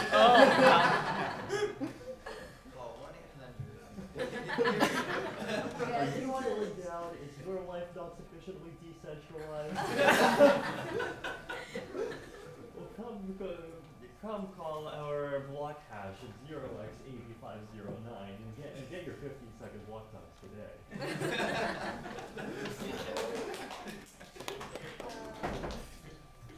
There's coffee. Okay. Oh yeah. Um, thanks all for coming. Um, we have a couple things. We're looking for people to work with us, um, part-time, or oh, Plasma Group. Plasma Group. Um, I'm I represent Plasma Group. We're looking for full-time, short-term contractors to help us build predicates. Um, so hit me up. I'm Jingle Jam on Telegram. Um, next up, can we have Uma? And then after Uma, Chainlink. So, all I want to say, guys, is first of all, start by thanking our spectacular organizers, which includes Jing leaving the room, Eva and Makara. Like, really pretty spectacular. This is our first time being at something like this, and while I realize it's the first scaling ETH, I think it's actually a pretty incredible event. Um, I've been talking so much, I'm losing my voice, so apologies. Um, um, and then just to show ourselves for a second. So UMA stands for Universal Market Access. What we're really interested in is building this uh, decentralized um, financial contracts platform. And the two things that we're really um, have fun talking about and that we've learned a lot in the last couple days are first of all synthetic derivatives on different layer two scaling technologies. Um, and this is something we love talking about, and we've had a super fun time collaborating with both the state channel folks, um, as well as uh, Plasma Group folks and all, all the Plasma folks, and Dan Robinson and Rainbow Networks. And I think we got somewhere. So I think that there were some learnings um, from all of us on how we can actually build synthetic derivatives efficiently um, and securely on layer two uh, technologies. Um, the other thing that we really wanted to kind of lob out there um, into this community is this idea of putting economic guarantees around blockchain oracles. And this is really specific to um, financial applications, uh, financial contracts on blockchain, um, where in our example, if you can't guarantee how much um, it costs to corrupt an oracle, there are failure modes where um, you can have economic incentives to bribe oracle systems. So we lob that concept out there, um, and I think we've gotten generally pretty good feedback and learned a lot, um, and that's been very helpful. And that's something we're going to get a lot more public about and be publishing and writing more about. And we'd love continued feedback and continued skepticism um, from the people in this room and elsewhere. Um, and lastly, it's also been great to collaborate with Chainlink um, and that team and the other um, Oracle folks that we've got to talk with. So thank you. Please listen to the commercials because they keep this event free. Thank you, Uh, yep. Hi, everyone. I don't think I actually need to speak in this thing. Um, yeah, first of all, I mean, thank you very much to the organizers for creating such a nice setting for us to have all these interesting conversations and for bringing all these smart people together. I know from my own experience that's not uh, easy to do and it's a lot of work and we all, you know, benefit from it. So thank you very much. Generally, uh, generally speaking, yeah, I'm from Chainlink. We are seeking to make uh, general purpose, highly secure, and easily usable Oracle mechanism to expand what Ethereum smart contracts can do so that they can go, you know, it increases what type of, of tokens can get built and it, inc- it increases the existence of many other use cases. Insurance, uh, various DeFi products, all those things. Uh, we think it's pretty important because it's going to create a whole new collection of use cases while expanding the existing ones. Uh, it's kind of, you know, this vision of smart contracts that are able to meaningfully interact with the world is kind of why we got into the space years ago, and we'd really love to see it realized. And uh, yeah, so we're basically looking for for great people to work with. We're a very excited, kind of welcoming group. It's uh, we're very open source focused. We function on the basis of uh, idea meritocracy. So you know the best ideas in our in our environment usually win out. Uh, the people that we're really looking to work with right now like the, the, set of problems we have right now that correlate to the people we want to work with. Uh, basically, senior software engineering folks, senior product management folks. So we're starting uh, to, to have so many things that, um, not so many things, but things that need to be built at a certain level of quality that we have, you know, a need for senior product management. Uh, we are always looking for good security folks. So for auditing on a part-time basis, uh, any kind of you know regular part-time interaction where you give us feedback on the security model we have, the security of our off-chain code, security of on-chain code. We're always very interested in working with good people that you know know how secure systems are built. We take that very seriously. And then the last thing is crypto economic research. So we um, we're starting a fellowship program, and we're you know, planning to begin a fellowship and a grants program, working with a few different universities but we're also hiring people uh, that are you know finishing a graduate program or want to do things part time as a postdoc, and uh, we're also working with many professors. So basically, if you have an interest in how economic systems interact with blockchain-based incentives, we um, you know we have a production working system where your theories can be tested out, or at the very least, you can contribute to a set of theories that are getting tested out on production. So yeah, well, yeah, thank you. Thank you. And it's been great to collaborate with everyone, Uma Group, everybody. It's nice, nice to meet you all and see everybody again. Yo, is Kartik here? What? Kartik. Yeah. He's coming. Oh.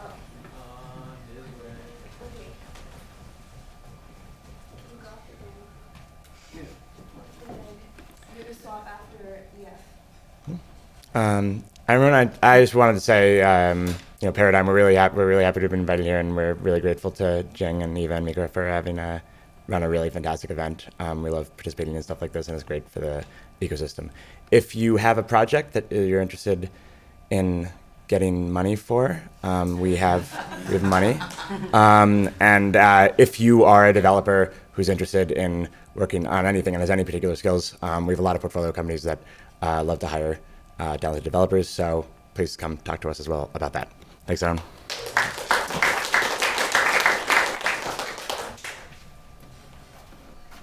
Hey everybody, I'm uh, Kartik. Uh, I work at A Capital, and uh, we are uh, strong believers in this space, and we kind of support initiatives like ETH Global and a handful of other events. Um, we're proud to kind of, it's an amazing event so far.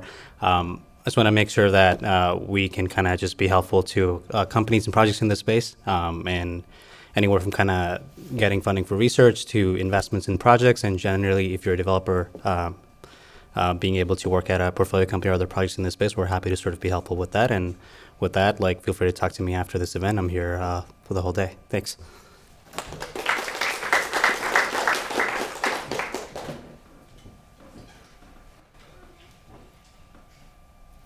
Hey everyone. Um, first off, yeah, thanks uh, for scaling Ethereum. It's pretty great. Um, I'm with uh, Uniswap. We are a, a, decentralized exchange protocol built on Ethereum.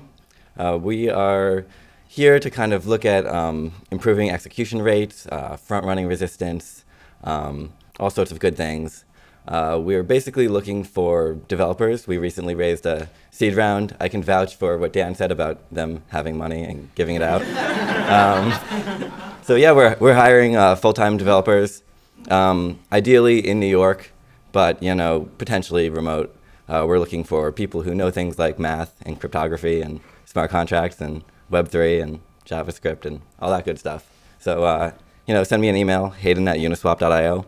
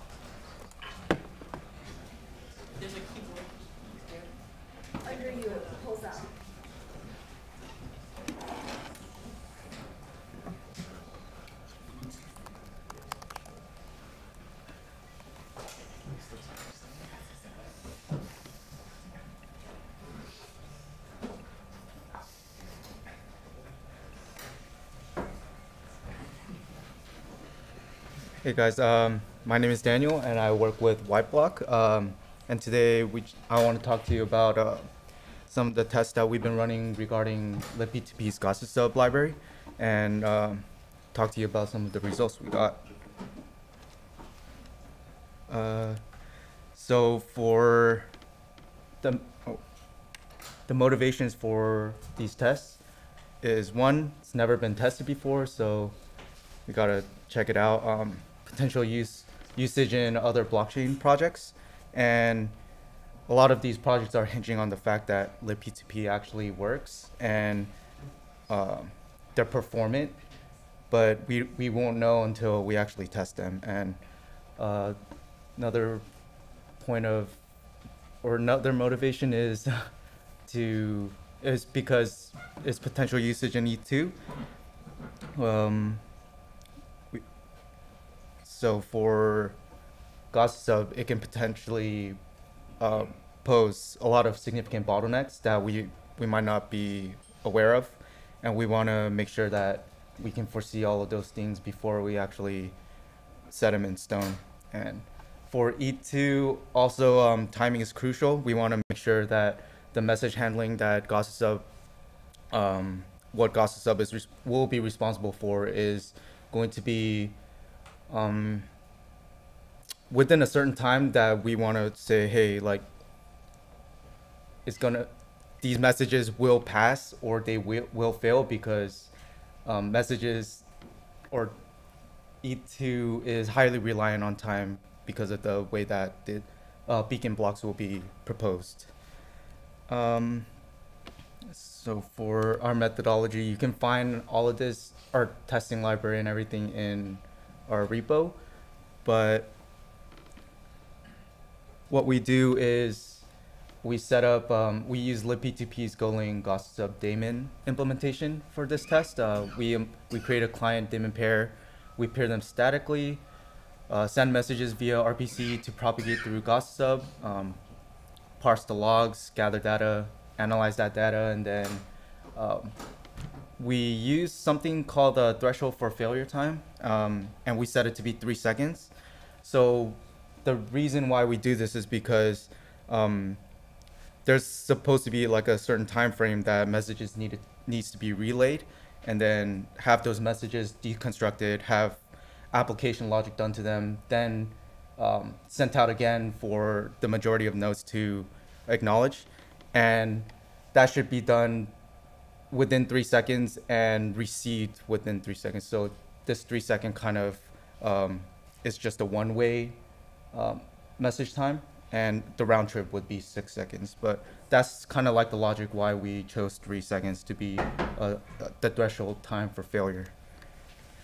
Um, here's the spe uh, system specs for how we've done te the tests. Um, and if you guys miss any numbers or tables, graphs, then it's fine. We're gonna um, post a Medium uh, article with all of this stuff. So, yeah. Um, and this is how we've uh, run our test, like our procedure. We build the network, uh, provision the nodes, configure network conditions if applicable, um, configure actions, kind of like uh, which one sends messages and stuff like that. Um, log outputs, um, we we aggregate, and then the raw data is parsed. Um, that is pushed to appropriate repo, and then the environment is reset so that we can um, run a, run the next test. Uh, so here are the test cases that we run. Um, one, the series one is a control where we have all the variables set. Um, we want to make sure that we have like a baseline so that we can see um, what the differences are when we change a certain variable. Uh, the second test is for message size, their sending number of sending nodes, uh, bandwidth, network latency, packet loss, and then a stress test, which is a combination of bandwidth, network latency, and packet loss. Because uh, in the real world, we're not just gonna have one network impairment, but a combination of them. Uh, so yeah, this is kind of just a breakdown of these test cases. Um, we have 100 nodes, 50 of them are sending. Um, each node is paired with 10 other nodes. Uh, the message size is 200 bytes, bandwidth is uh, one gig. No network latency packet loss, that would describe our control. And then for our message size, we change it from 200 to 500 and then 25 megabytes and then 500 megabytes or uh, kilobytes sorry uh, 500 bytes 25 kilobytes 500 kilobytes and then we uh, change the number of sending nodes uh, 10 40 90 uh, bandwidth test we have 50 megs 20 250 megs and 750 megs um, network latency, we add 10 milliseconds, 100 milliseconds, 500 milliseconds. For packet loss, we add 0.01%, 0.1%, and 1% packet loss. And this is for the combination, uh, the stress test, where we have 10 megabytes of bandwidth, 150 milliseconds of latency, and 0.1% of packet loss. And this is kind of just to emulate more realistic adversarial network conditions and here are the results uh, kind of graphed. Um, I had said earlier for the three seconds we determine as um, a message failure, but I've also added an, a graph for six seconds because um, a beacon block is proposed every six seconds. So if a message fails to be received within a six second time frame, then it would be considered like a definite fail. So that's why I have them separated, uh, just to show based off of our definition and just kind of like objectively when it would fail. Uh, from here, we see that um, Series 2 has the most, it's significantly most uh, failure rates. Uh, this is all in percentage, by the way, so um, it's kind of like the percentage of messages that are, um, that haven't reached, haven't been propagated um, in under three seconds, and in this one, uh, in under six six seconds. So we have the most degradation in performance um, in Series 2, which is for mes message size. The last test for Series 3, which is uh, for the number of sending nodes. And then um, for the stress test. Um, and then I'm gonna go a little deeper, or here's the tables of all of the percentages uh, that I put it into graphs, but yeah. Um, from here, we can see that 2B has pretty significant um, failure percentage. Um, for for the threshold for three seconds, we see um, over 90 4% um, failure and then for over six seconds, over 90 to 95%. But um, yeah, and same here uh, for the stress test, for the threshold for three seconds, we see about a 40, a 40% failure rate.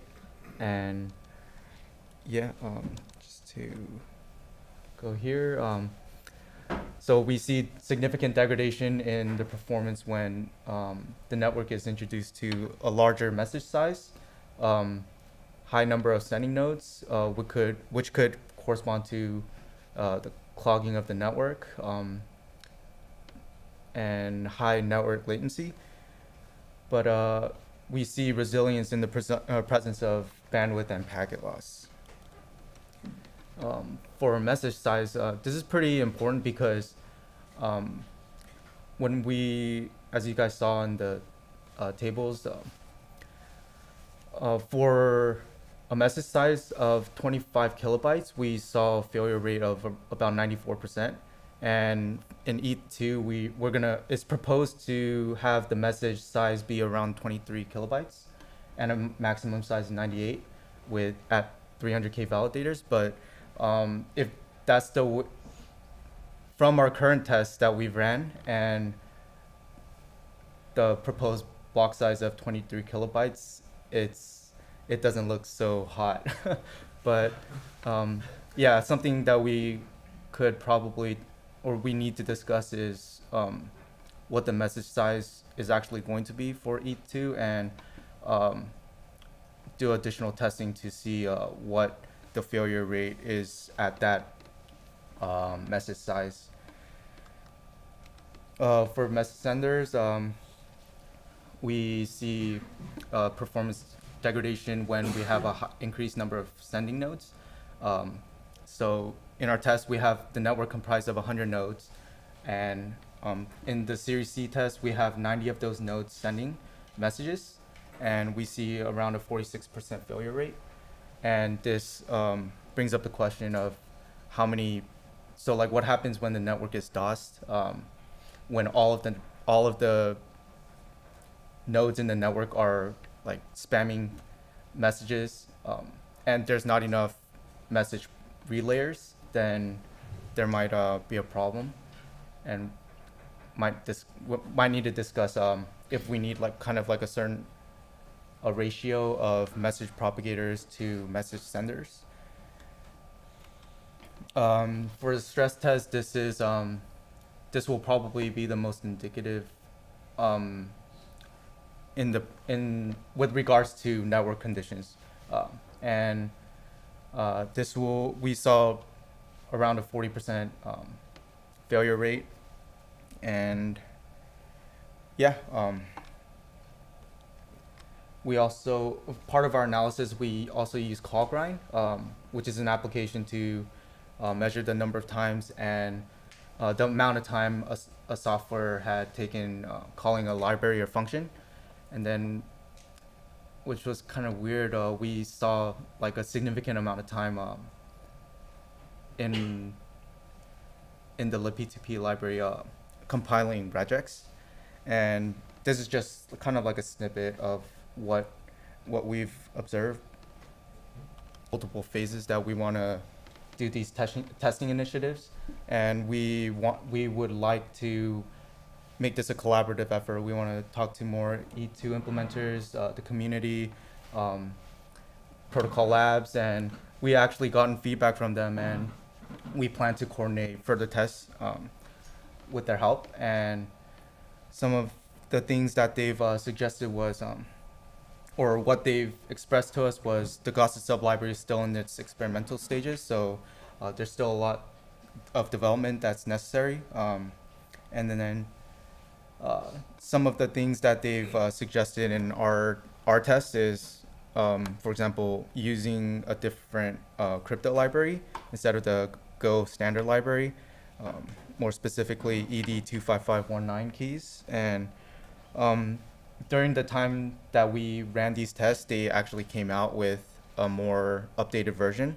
So in our future tests, we're going to use their um, up most up to date uh, code. And yeah, uh, so for additional tests, we want to validate that our findings are right and also find future correlations regarding incremental latency, packet loss, um, bandwidth, uh, message sizes, and calculate the linear regression of those. Um, increase, decrease peer counts, um, intermittent dropping of nodes, and um, supply the nodes with additional resources and see if um, this library is resource exhaust- exhaustive or not.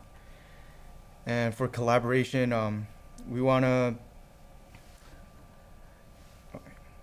collaboration. Uh, yeah, so I'd love to take the time later on um, to discuss what this um, threshold for failure is, because just because I say it's, or we say it's three seconds doesn't mean it actually is, and um, yeah, uh, and also kind of like what the minimum percentage of successful message propagation would be in order for us to have confidence in us integrating uh, Gossip Sub into E2.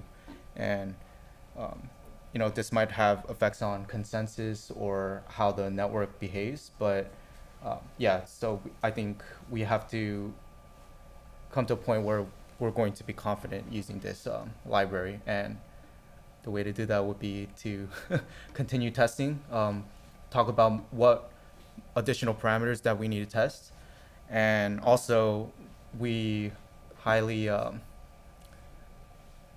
we we want you guys to do testing on your own so that you guys can vet our code, you guys can validate our findings, and uh, we have all of our stuff is open source. So if you just go to like you can use our tooling to run these tests, and yeah, uh, we just want to be as collaborative as possible, um, discuss all of these things with you guys, and be on the same page.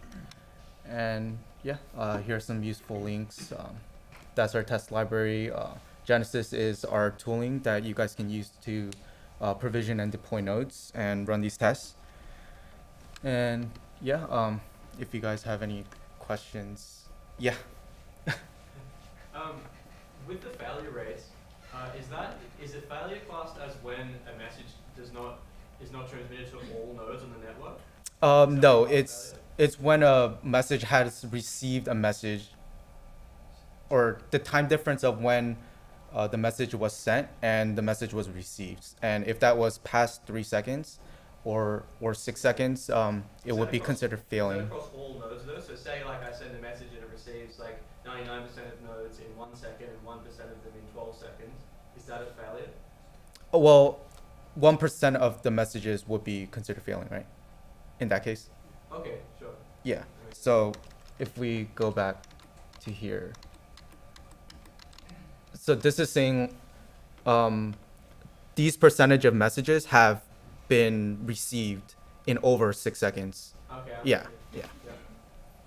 Yes. It sounds to me like you think the problems are more in the implementation of the library than the, the protocol design itself. Is that correct? Uh, that could be highly possible. That's why we use Callgrind to make sure and uh, see what what the library actually calls and um, this the inefficiencies inefficiencies there. But yeah, we, we need to do continued testing to um, make sure and pinpoint what actual parts are causing these degradations in performance. Yes. Have you guys done the uh, comparison with FloodSub and Plumtree yet? No, so uh, Plumtree, we're still working on integrating. Um, we're working with Antoine to get that up. Uh, regarding um, FloodSub, with the resources allocated, um, we used pretty much the biggest box that we could um, to run these tests, but we couldn't get FloodSub to run, and that was very, very ex- uh, resource exhaustive, and we just kind of um, we got like maybe 25% in, but because we couldn't get the full set of data, um, the boxes kept crashing, the nodes kept crashing, so we decided to just roll with Gossip Sub for now. But we do plan on um, running those tests in the future. Yes. Can you describe the, the topology of your network? Is it like, on average, like how many hops to get to the edge of the network from? Uh, so for um, the way that we have peering set up, we have um, so for every node that's uh, instantiated, we have it um, with the exception of the first node, uh, we have it peer with um, a node that had been created prior, and then it just continues to peer with um, the nodes that have been created, and this is done on kind of like a pseudo random basis. So it kind of creates like this um, mesh tree like s- structure. So it's pretty distributed? Yeah. Okay. Yes. What, what was like? Did I see that your network latency was zero milliseconds? Um, that's for the control. Okay. Uh, but yeah, are are you talking about this one or? Yeah, yeah, exactly. Yeah. So, so I mean, for these tests, when we see those those results, that's assuming that you know it's like a perfect network kind of thing. Like, because in the in the real world, right, if you're going from Japan to Toronto, right, it not, might not be. Yeah. Yeah, yeah. So for Series One control, it would be pretty much like running all the nodes on a on a local machine. But then something like the stress test, that's where you would send it to an actual person. Yes. When you were seeing the failures with high sender counts, is the sender someone that's like adding like a new message from their application to the network, or is that someone who's forwarding around lots of things? Uh, they're sending new messages to the network. Yeah. Yeah.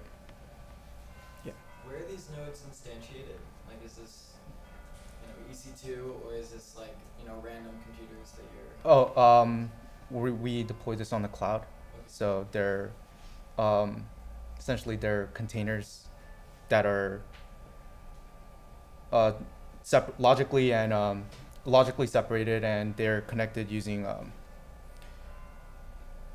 oh man, it's slipping my mind. But um, yeah, we have networking in place that um, lets them communicate. Are they all in like one infrastructure as a service uh, company, Oh no, it's all in one infrastructure. Yeah. Yes. Uh, what transport do you use for this? Uh, we use TCP. And will we be using testing with different transports or? Uh, we could discuss that, but um, yeah, uh, we would love to yeah talk about what other w- modes of um, transportation to test. Yeah. When you were saying the high failures with the 25 kilobyte blocks, do you have any idea about saturation, or is it is it the client spending so much time trying to deal with the network, or? Uh, I think it's the time. Um, so we got feedback from Protocol Labs, and it's that uh, the way that they described it was how the message is being validated and verified. So I think the time to deconstruct the message and then verify that it actually is, um, it's uh, to validate it and then propagate it again, like wrap it up and send it back. So is it the cryptography stuff you were mentioning? Yeah. Yes. So the, the default settings for Gossip Sub are that the sender signs their message, and the receiver will uh, verify that it was signed by that same or received from the same person. Uh, Did we. disable that or? Yeah, we don't sign at all. We just send the message straight up. Yeah, because that was ta- for us. It was taking a lot of time. It was, like it would have been really bad if you. Oh, really? For signing? Yeah. Oh, okay. Yes. Just to be clear, are you using your own like DHT, or is this the big IPFS like public thing? Oh Uh, assume your own- no, we statically peer. You So statically peer, yeah, okay. we don't use any DHT. No DHT. Yeah.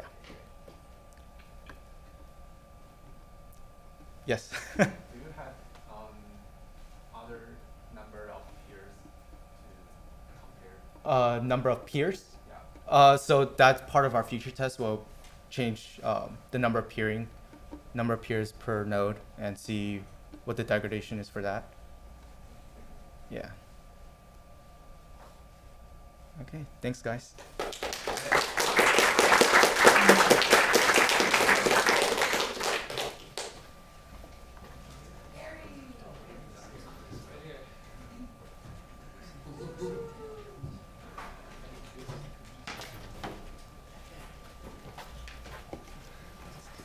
So we get you set up here.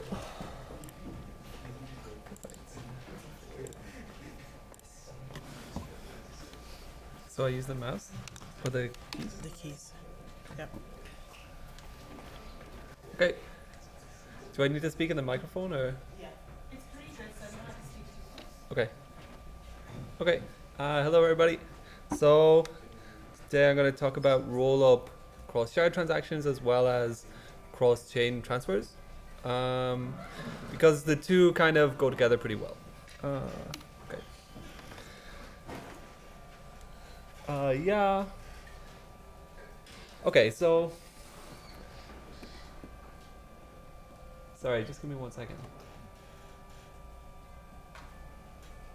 Okay, so so today and yesterday people were talking a lot about rollup. So so yesterday Alex talked about rollup and he talked about how we can use it for like layer two scaling, and today um, we talked about rollup as being an execution environment and we can use it for we can yeah so we, we can just use the the shards data yeah and that's what I'm going to talk about here.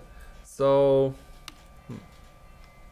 So the problem statement is that we have uh, we have multiple tokens and we have multiple shards and we or uh, this slide said chain we have multiple chains or shards or whatever and we want to transfer them between the both yeah so in the uh, uh, from what i understand about how uh, ETH2 works is that you, you if you want to do this what you do is you have this kind of cross link right where you sort of burn some money on one chain and then you wait for six minutes and you can do something called a cross link and on the new chain you prove that you've burned the money on the other chain and you can kind of resurrect the money there yeah and you can do this kind of transfer between chains. So this happens. So the crosslinks happen every six minutes, and this is kind of it's a little bit slow. And another problem is that we need to validate the crosslink for every transaction that you withdraw in the new chain. So it's not really so there's like there's like a, a limit in the amount of cross shard transactions that you can do. Uh, because there's this like fixed cost in the EVM that you have to pay per transaction. So it would be a good idea to kind of minimize this fixed cost, and that's something that we can do with Rollup. Um, yeah. Okay.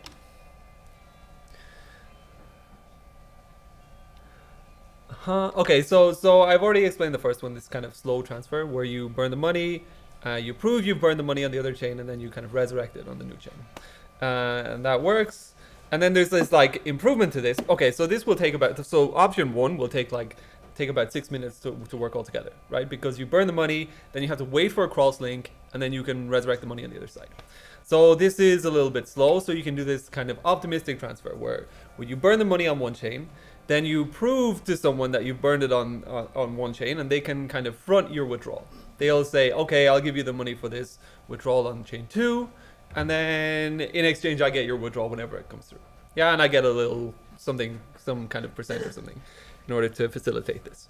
So this is a way that we can speed it up. It's like optimistic cross-chain transfers, right?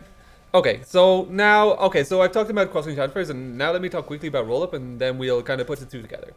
Okay, so rollup uses zk snarks in order to, to make sure that a state transition is valid. So what we do is, we have this, this is like the data structure that we control with the snark, okay? So inside this data structure, we have all these leaves. So Alice and Deborah here are like two people who are part of this tree. And Alice and Deborah, are, are, their balance is defined by what's underneath here, which is like their public key, the balance, the nonce, and the token that they hold, right? And the idea is that we pass this to a snark, and inside the snark, we, we maintain custody of the root. We just transition the root one piece at a time, updating one leaf at a time until we get to the very end. And then we have this, we pass this back to the smart contract, right? So what the snark does is it makes sure that the root is correct all the way along and then we don't need to check anything else. Uh, and then we have to do some stuff for data availability, but that's not really uh, crucial for understanding the rest of what we're going to talk about. Cool. Yeah, and, the other thing is data availability, but we don't really have to talk about that. Okay, so let's do the like the naive thing and say that, oh no, this is, yeah, let's do this. Let's say that, okay, we have roll up on two chains. So we have the root on two chains and we validate snarks on two chains, but on each chain we kind of split. Yeah, we say on the left hand side here is shard 1 and only shard 1 is able to deposit into this part of the tree. Yeah? And to, yeah, only, only shard 1, only shard 0 is able to create leaves here in the red part. And we say the same thing about shard 1. Yeah, we say that, okay, this half is for shard 0 and, and shard 1 is here and only shard 1 is able to deposit into this side. Right? So now we have this kind of two roll-ups that happen in parallel. Yeah? So what we can do is that we can we can assign a single operator and each time we do a state transition, we validate that transition on both chains, right? So we have, yeah. So you can see here, we have shard one, shard two, we have state zero all the way to state, oh, that should be state one and state two. Um, anyway, we have, yeah, so basically what we do is every time we have a transition, we put a snark on both chains. The snark is exactly the same and it does a state transition on both chains. So basically what we're doing is we, we do deposits on both chains, right? We deposit money on, on, on both chains and then we we kind of merge it together inside the snark, and we have this rule that everything has to be the same. Yeah, you have to do the same state transitions on both shards. Okay? So then what happens is that we, we do this and everyone is transferring and then uh, we have this, after a certain amount of time, we do a cross link. Yeah, and we link the two together and we say, okay, now state one and state 1 have to equal. Yeah? We just do a single lookup and we validate that everything is correct. Okay? We just we look just look up one state on both chains. Yep. So Okay, so this works. But what happens if we enter two different states? What happens if the operator is malicious and they they kind of change the state root between two sides, right? So, so this is what happens here. Okay? Yeah. So if we don't match, we just use a fork choice rule. Okay, and we can kind of decide what our fork choice rule is later. But let's just create a naive one for now and say that we just have a single chain that's like the the the the single source of truth. Yeah, and we say that this chain is the one that we're to believe if, if data becomes unavailable. Oh no, this is the one we're to believe if there's if there's like a divergence, if there's a fork. Yeah. So if that happens, what we do is we check and it's not equal, so we just make it equal, right? We just we just edit this so that it equals this. Yeah. Yeah. Cool. Uh, okay, so how does this? So how do the deposits and things like that work? Okay, so basically what we do is we can deposit optimistically. Um, yeah, we can deposit optimistically, and if there's a fork, we can just undo the deposits and and have their have the deposits waiting in the queue. However, we have to wait for the withdrawals, right? Because the idea is that on chain one, the operator could deposit a lot of money, and and uh, on chain two, they could withdraw it, and then they can revert back to what's on chain one. Yeah, they can do this kind of attack. So sorry, let me explain that again. So the idea is that on shard, shard one, someone deposits into the tree, or the the operator deposits into the tree, and then what they do is they they fork the state, right? And they fork the state so on shard two they withdraw their money, right? And then what happens is because this, the the state is forked, they know that the state is going to revert to what's on chain one, yeah. So they've withdrawn their money on on shard two, and they get to have their money again returned to them. Yeah. So we have to wait for this cross link to validate that the withdrawals are done correctly. Yeah. Yeah. Okay. So let me talk a little bit more about this. So okay, then the the final idea. Okay. So so so it's good that we can do this because it means that we don't have to do so many lookups on the withdrawals. And it's good bec- that we and we can also use the optimistic payments that we talked about before. Um, yeah. We can also do the optimistic payments that someone can come forward and say, oh, I'll pay for this withdrawal. And all they have to do is check a single chain. Yeah, they know that this withdrawal is going to be valid, so they can check a single chain and then pay it out. So that works too. Um, okay, so so this works for shards between two chains, but we can also do shards with multiple chains. I mean, it's it's trivial to add more chains to it um, because because it's just like another another batch in the tree, another piece of the tree that we just say, oh, this is for you and this is for you. Another thing that we could do is we could we could have this kind of we could like share the data availability between multiple chains. So what we can do is just put like half the transactions here, half the transactions here, half the transactions here. But yeah, yeah. So that should work. But then if we have it, we have to complicate our withdrawal, our, our fork choice rule because if the if the if the chain diverges and data is available for different states on different chains, we need to we need to, yeah, so we can have a data availability attack here. We have to have a more complicated fork choice rule, which means we'll probably have to roll back to the last cross link. Possibly. We'll, we'll, we'll see. Uh-huh. Okay, so what else do I want to say about this? No, I have some more slides about this soon. Okay, so let's talk about the other options. So so the, the, the thinking is, should we do it with Plasma and can we do it with state channels? And the answer is yes, we can do it with both. Uh, uh, but uh, possibly we might have a longer withdrawal time for the Plasma with exit game. And the same with state channels. But we can still have this kind of optimistic withdrawal. So yeah, it, it, it depends. I think it will mean that you'll have to have more capital if you're if you're a withdrawer in plasma or in state channels than if you were in in the the roll up version because you'll just get your money back quicker and you can kind of cycle it through. Yeah. Yeah. Uh, oh, but there is something cool you might be able to do with state channels where you where you have the fork choice. Or no, actually, we can you can do it with the roll up version too, where you have like where if we go back here, and if we know that shard one is gonna be the is gonna be the the chain that we always revert to, then you can withdraw instantly on shard one. Even if you deposit into shard two, you can take it out on shard one because you know that this is like the state. So another thing that we could do is we could create like multiple different connections between two different chains, and we can have this kind of super fast transfers between them. So that can work too. Okay, nice. Oh, okay, so we can add more chains, and I said earlier that, that this doesn't really have a lot of cost, but actually it does have a lot of cost when it does have a little bit of cost when you when you add more and more things. Uh, yeah. Okay. So so actually, this slide is more about is, more about adding not adding more shards, but adding more chains. So let me just talk about this a little bit. So so we can kind of make that we can kind of say that that a, a cross shard transfer is the same as a cross chain transfer. If we can validate the proof of work on both chains, and if we have logic to to to lock up coins on one chain and withdraw them on the other. For example, we can't do this with Bitcoin because you can't validate snarks, you can't lock money up uh, with with this kind of rule, and you can't validate the proof of work of the other chain. So, so, so what we need to do is validate the proof of work of Ether, of ETH, and the proof or the consensus mechanism of ETH, and and whatever the, the, the target chain is. Yeah. So we can make these kind of connections between chains if we can do this. Yeah. And we can also validate the proof of work or proof of stake with snarks, but that's a little bit expensive. Actually, it, it turns out to be less expensive if you have like more advanced snarks, uh, but the proving time is high, and it, it seems to be like a trade-off. Uh, the, like recently, I looked up um, what's the Bitcoin uh, relay, Bitcoin relay, and they said that that oh yeah, so it's like two hundred thousand gas to validate a proof of work. I think someone talked about it at the conference. Yeah, but but that's quite expensive, right? I mean, and you need to do that every every 15 minutes to keep up with Bitcoin, and yeah. Keep the optimized quite a bit. Oh yeah, oh yeah, you're right. You're right because it's written in Serpent, right? I, yeah, I thought it was written in Serpent. Anyway, yeah, yeah. So I'm sure I'm sure we could optimize it pretty well, a, a lot more. But anyway, it seems like a good idea to be able to connect to other chains as well. And Snarks have a way to do this that we don't have to do a lot of, lot of work with proof of work. Or yeah, we don't have to do a lot of other hard forks to include it. Okay.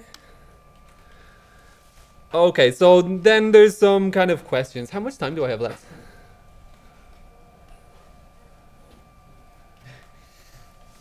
It's all right. 10 minutes? Okay, let's go. Okay, so so so then we can talk a little bit about. Oh yeah, I still have some more slides. It's all right. Um, so then things to think about. All right, so we can do these kind of quick deposits, and we seem to have a way to do quick withdrawals on a certain chain. But it would be nice to have like just a single rollup that just works across all the chains. Also, it would be nice to have like better trades because in the rollup that we have at the moment, we can just do atomic swaps. So it would be nice to have like a liquidity pool style system that would that would just help things a little bit. Yeah, that, that would just mean that there's a lot more liquidity in the system and you don't have to worry about these kind of front running attacks and things like that. Well, you do have to worry about them, but not so much. Okay. Okay, so let's imagine that we we do this and we we connect a bunch of chains together, right? This is not shards, but this is chains. So let's say we connect this to to some other chain and we uh, and everything is going fine.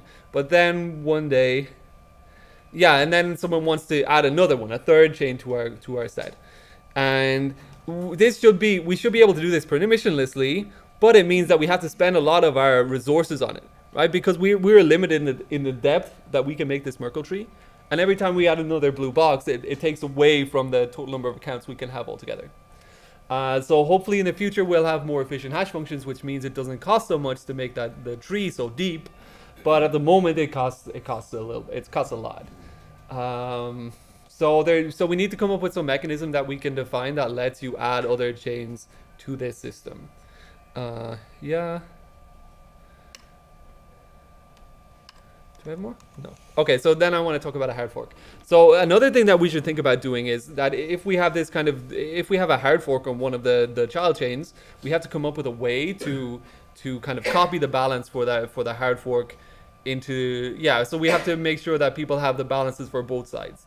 So this this be like okay. So if the chain diverges, uh, people have money on both chains, and we want people on both chains to have money, or we want people to have the money from both chains, right? So this seems like a little bit more difficult. So one thing we could do is just copy the state, the intermediate state root of the chain and say, I, you own it here and you own it here. But then the problem is that we'll have to include that. We'll have to deploy the contract in the new in the new chain, and we'd have to uh, uh in the fork chain, and we'd have to update the contract in the fork chain to, to sort of point to this as their section of the tree. So that becomes a little bit more difficult. Uh, we would need to have sort of considerations about about like the fork fork ID, the chain ID that that is actually on. So that's a little bit more difficult, and I'm I think that in under contentious hard forks, it's more difficult to handle that. But I guess the people who do the actual hard forking should should should consider this and include it, possibly, yeah. And on the ETH side, it's it's pretty easy. We would just have to add another another uh, cross chain ID. Great. Uh, Boom. Done. Okay, yeah, that's it. Uh, let's have some questions. Okay, let's go. Can you go back to the slide, the diagram of the Uh, this one? Yeah, yeah, yeah, these ones. Yep. Um,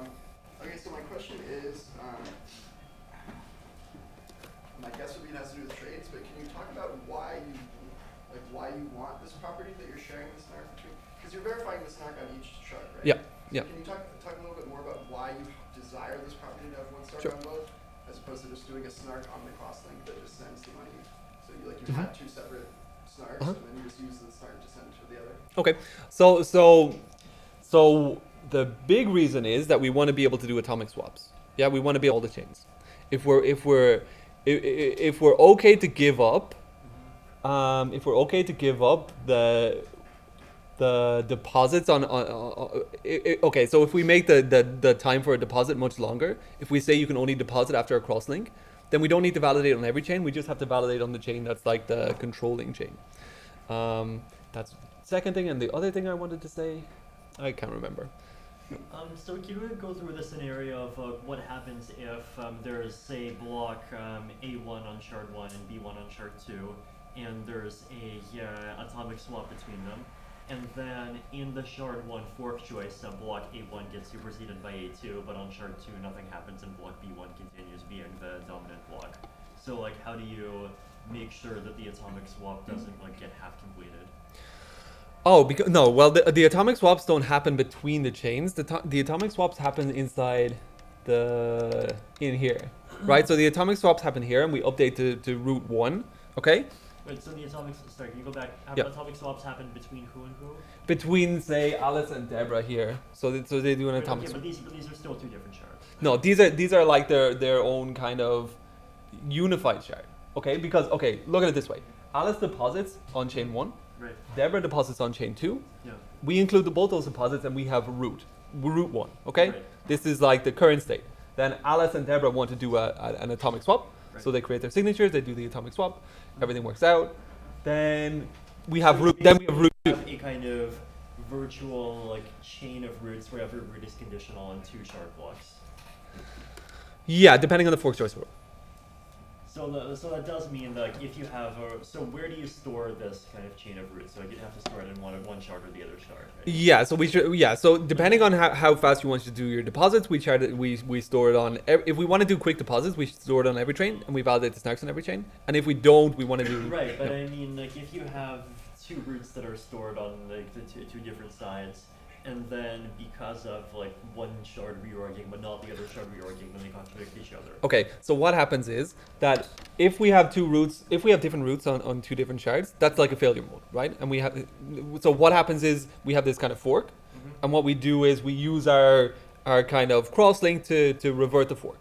Yeah. So basically, like, you have a rule that says like shard one takes precedence or something. Exactly. Like? Yeah. Exactly. Yeah. Yeah.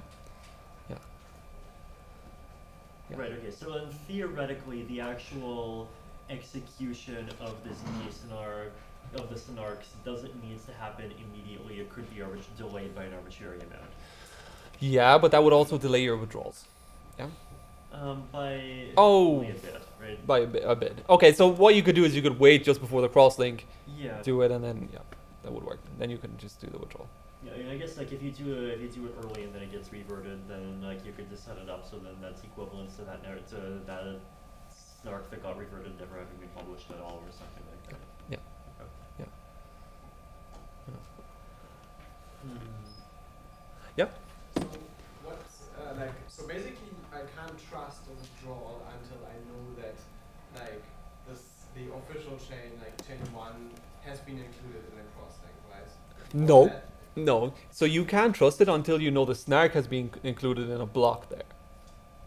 Yeah. What what if that chain that then gets reorged? I got my Okay. Yeah. So you have to you have to wait for finality of the chain, but you don't have to wait for the crosslink. Oh. So. How do you get finality without the crosslink? Oh, I'm, I'm not sure how exactly how how the ETH 2.0 stuff works, but do you have to wait for a crosslink to get finality? Oh, but you can you can do you can say probabilistic things, right? You can say, oh, it's probably not gonna. So It's, basically the idea is then that I I'll accept something from like the system because I can see oh yeah like it looks alright on that chain, so we're not gonna get reorged. yeah, yeah, yeah, yeah, yeah. I have a question for remote Danny Ryan. Um, Uh-huh. When referencing fork choice in this scheme, do you mean a modification to layer 1 fork choice, or instead a layer 2 mechanism to alter the state of shard B with proofs of state of shard A? There too. 2? There too. Oh, oh yeah. So another kind of interesting thing that we could do is is that we could have instant withdrawals if we're happy to to sort of withdraw to another snark that we're able to revert. So that so one of the nice things about this is that it's easy to revert the state of the snark and we don't have to worry about the rest of the chain. So we could come up with like a snark smart contract and put that in a separate a separate kind of instance and withdraw to the snark smart contract under the condition that if we revert if we revert the cross shard snark, we also revert this snark.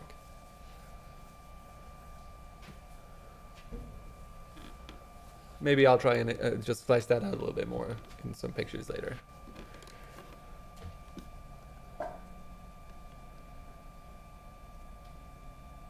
Okay. Any other questions? Yeah, so if, if there's nothing else, just feel free to. Oh, but I want to say thank you to the organizers for doing everything and inviting me. They did a great job. Thank you, organizers.